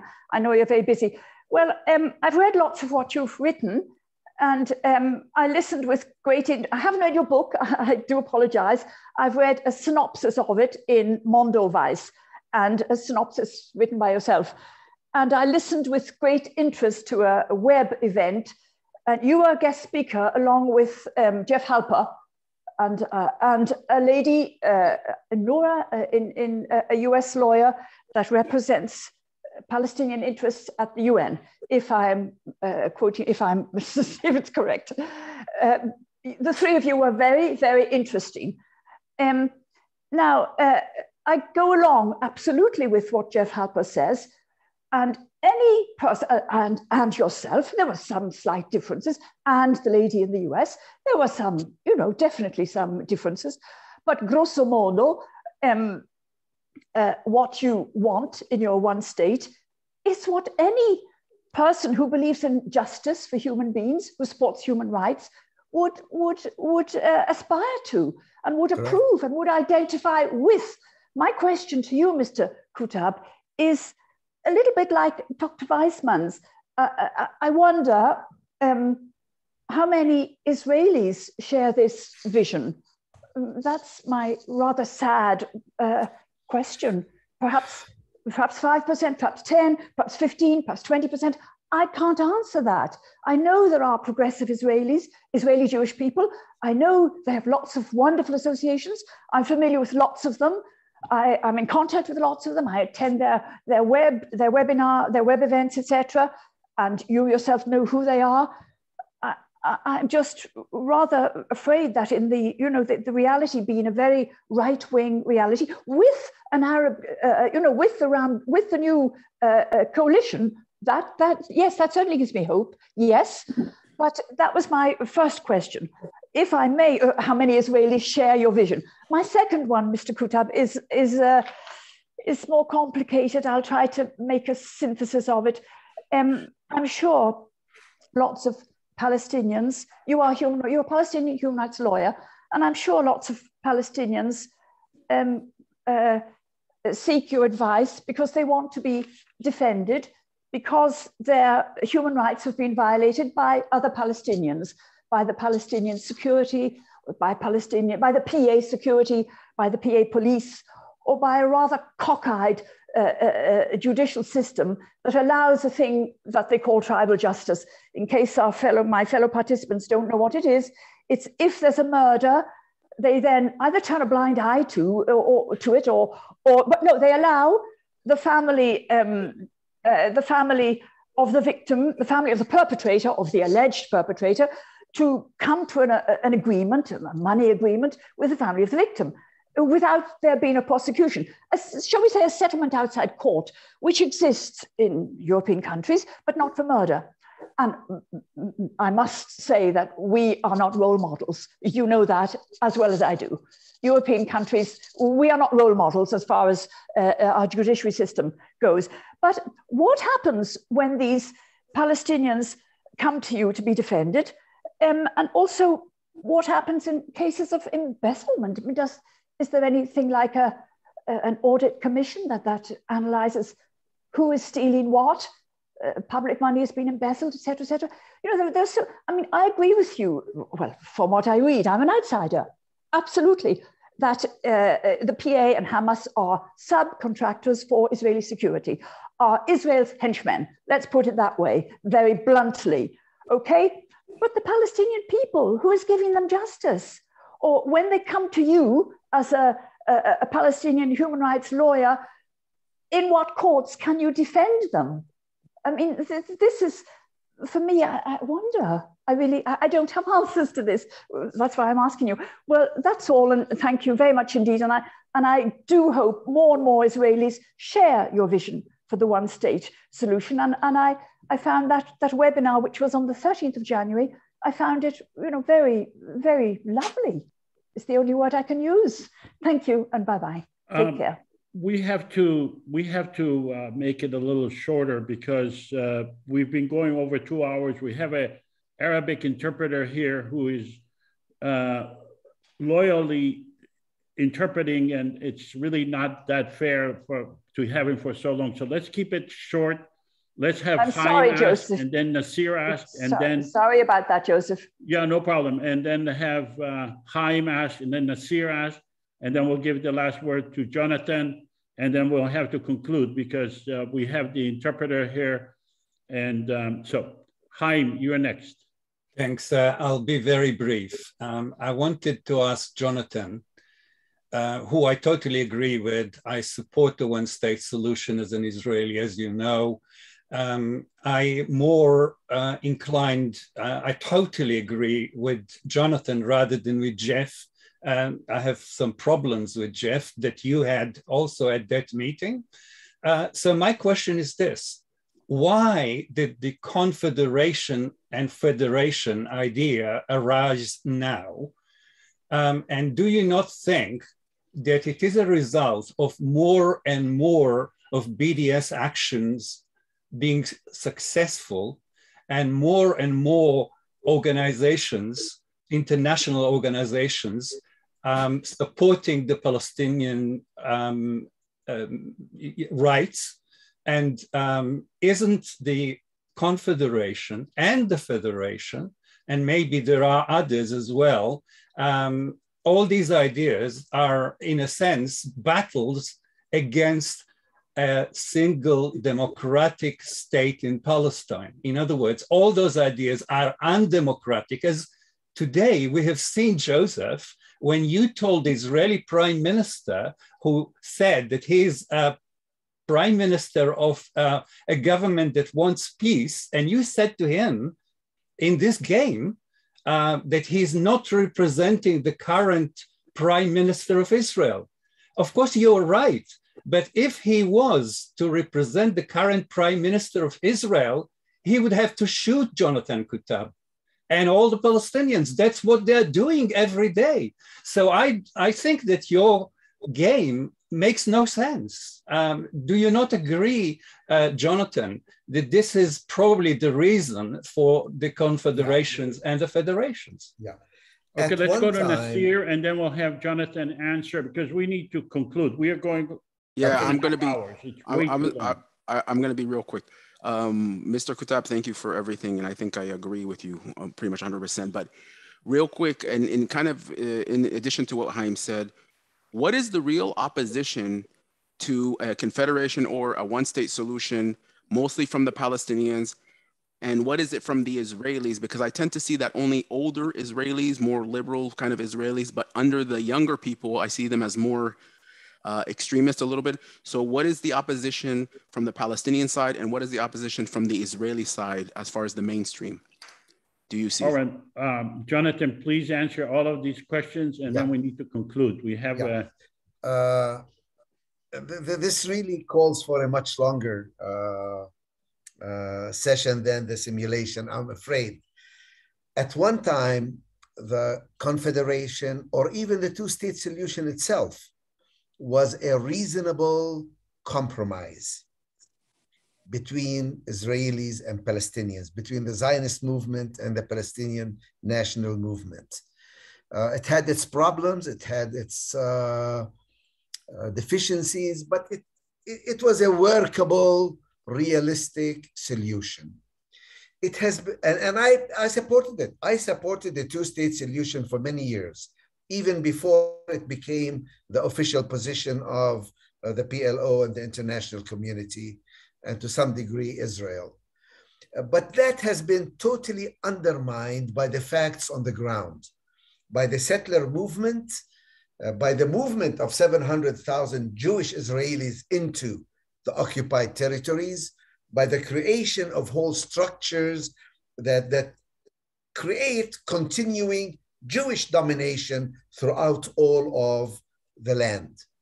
So now we have to think of new things, and we have to think of uh, things that really satisfy both sides. Uh, confederation, in my view, tries to prolong the existing situation, tries to keep the two state paradigm somehow alive because it's easier for people to swallow the two state solution than to swallow a one state reality. What I did in my little book, and I really suggest that you read it, and it is short and it has a summary at the back for those who don't want to read the whole uh, book on it. What I really did was avoid the discussions of the past, avoid an analysis of the ideology of Zionism or of Palestinian nationalism. So I should have avoided the question about Hamas and who started it uh, as well. And, and, and instead say, can we address the needs, the hopes, the fears of both sides within a single unitary state? What guarantees are there? How can we deal with the demographic demon? Uh, how can we provide security? How can we make this new reality even more attractive than a small, tiny Palestinian state or a, a, fascist militarized Jewish state? Can we have something that is better for both Jews and Arabs in all of Palestine, Israel? And I offer division. It's not the maybe the, the, the one and only, but it really gets people thinking of new models of thinking. Because in my view, the existing ideologies have failed us, have failed Israeli Jews, and have failed Palestinian Arabs. It's not easy to move beyond. It's easier to just stay with what is and try to tinker with it here a little bit and here, uh, there a little bit there. So this is my view, and it may not be the best, uh, but but I offer it as as as a as a goal, as a vision, uh, and and I really like those people who are willing to experiment and think out of the box and challenge existing models. And my critique of the IPC has not been that it's willing to change, but that it's not willing enough to change, that it is sort of wanting to hang on to a paradigm which has failed. By calling it a confederation and creating an umbrella above it that serves the tribal interests of both tribes rather than try to elevate people above tribalism and invite them into a new humanity that embraces the other and that is not committed to constant eternal warfare between them. So the, these are my views, and you're welcome to read them and challenge them and critique them. Uh, and and, and I, I like, you know, this game that has been offered. As I said, my problem with it is it's, it's, it's a chess game played with different pieces than the regular chess game that people usually use. Um, all right, thank you so much. I would like to make some concluding remarks. First of all, I want to thank Jonathan Kuttab. I did read his book. His book is very good. It talks about one state, which, uh, uh, and it describes how it could, not how it could happen, but what would happen when it is a one state. Uh, Mr. Kuttab uh, said something right now that he's in favor. His problem with the Confederation is that it is not changing enough. And that's the, but he never really, you never really suggested how to dismantle the Israeli government, the Palestinian government, and the Hamas government.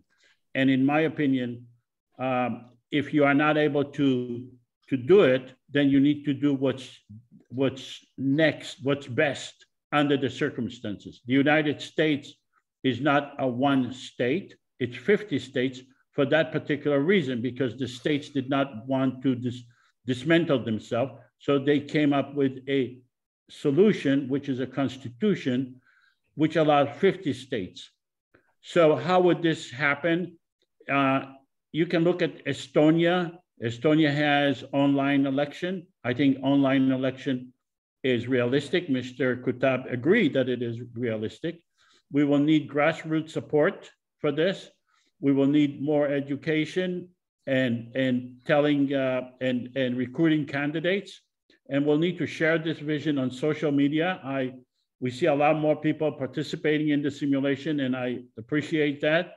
And please continue to participate in the simulation. Contact me, contact the media, and tell them that there is another way to resolve this.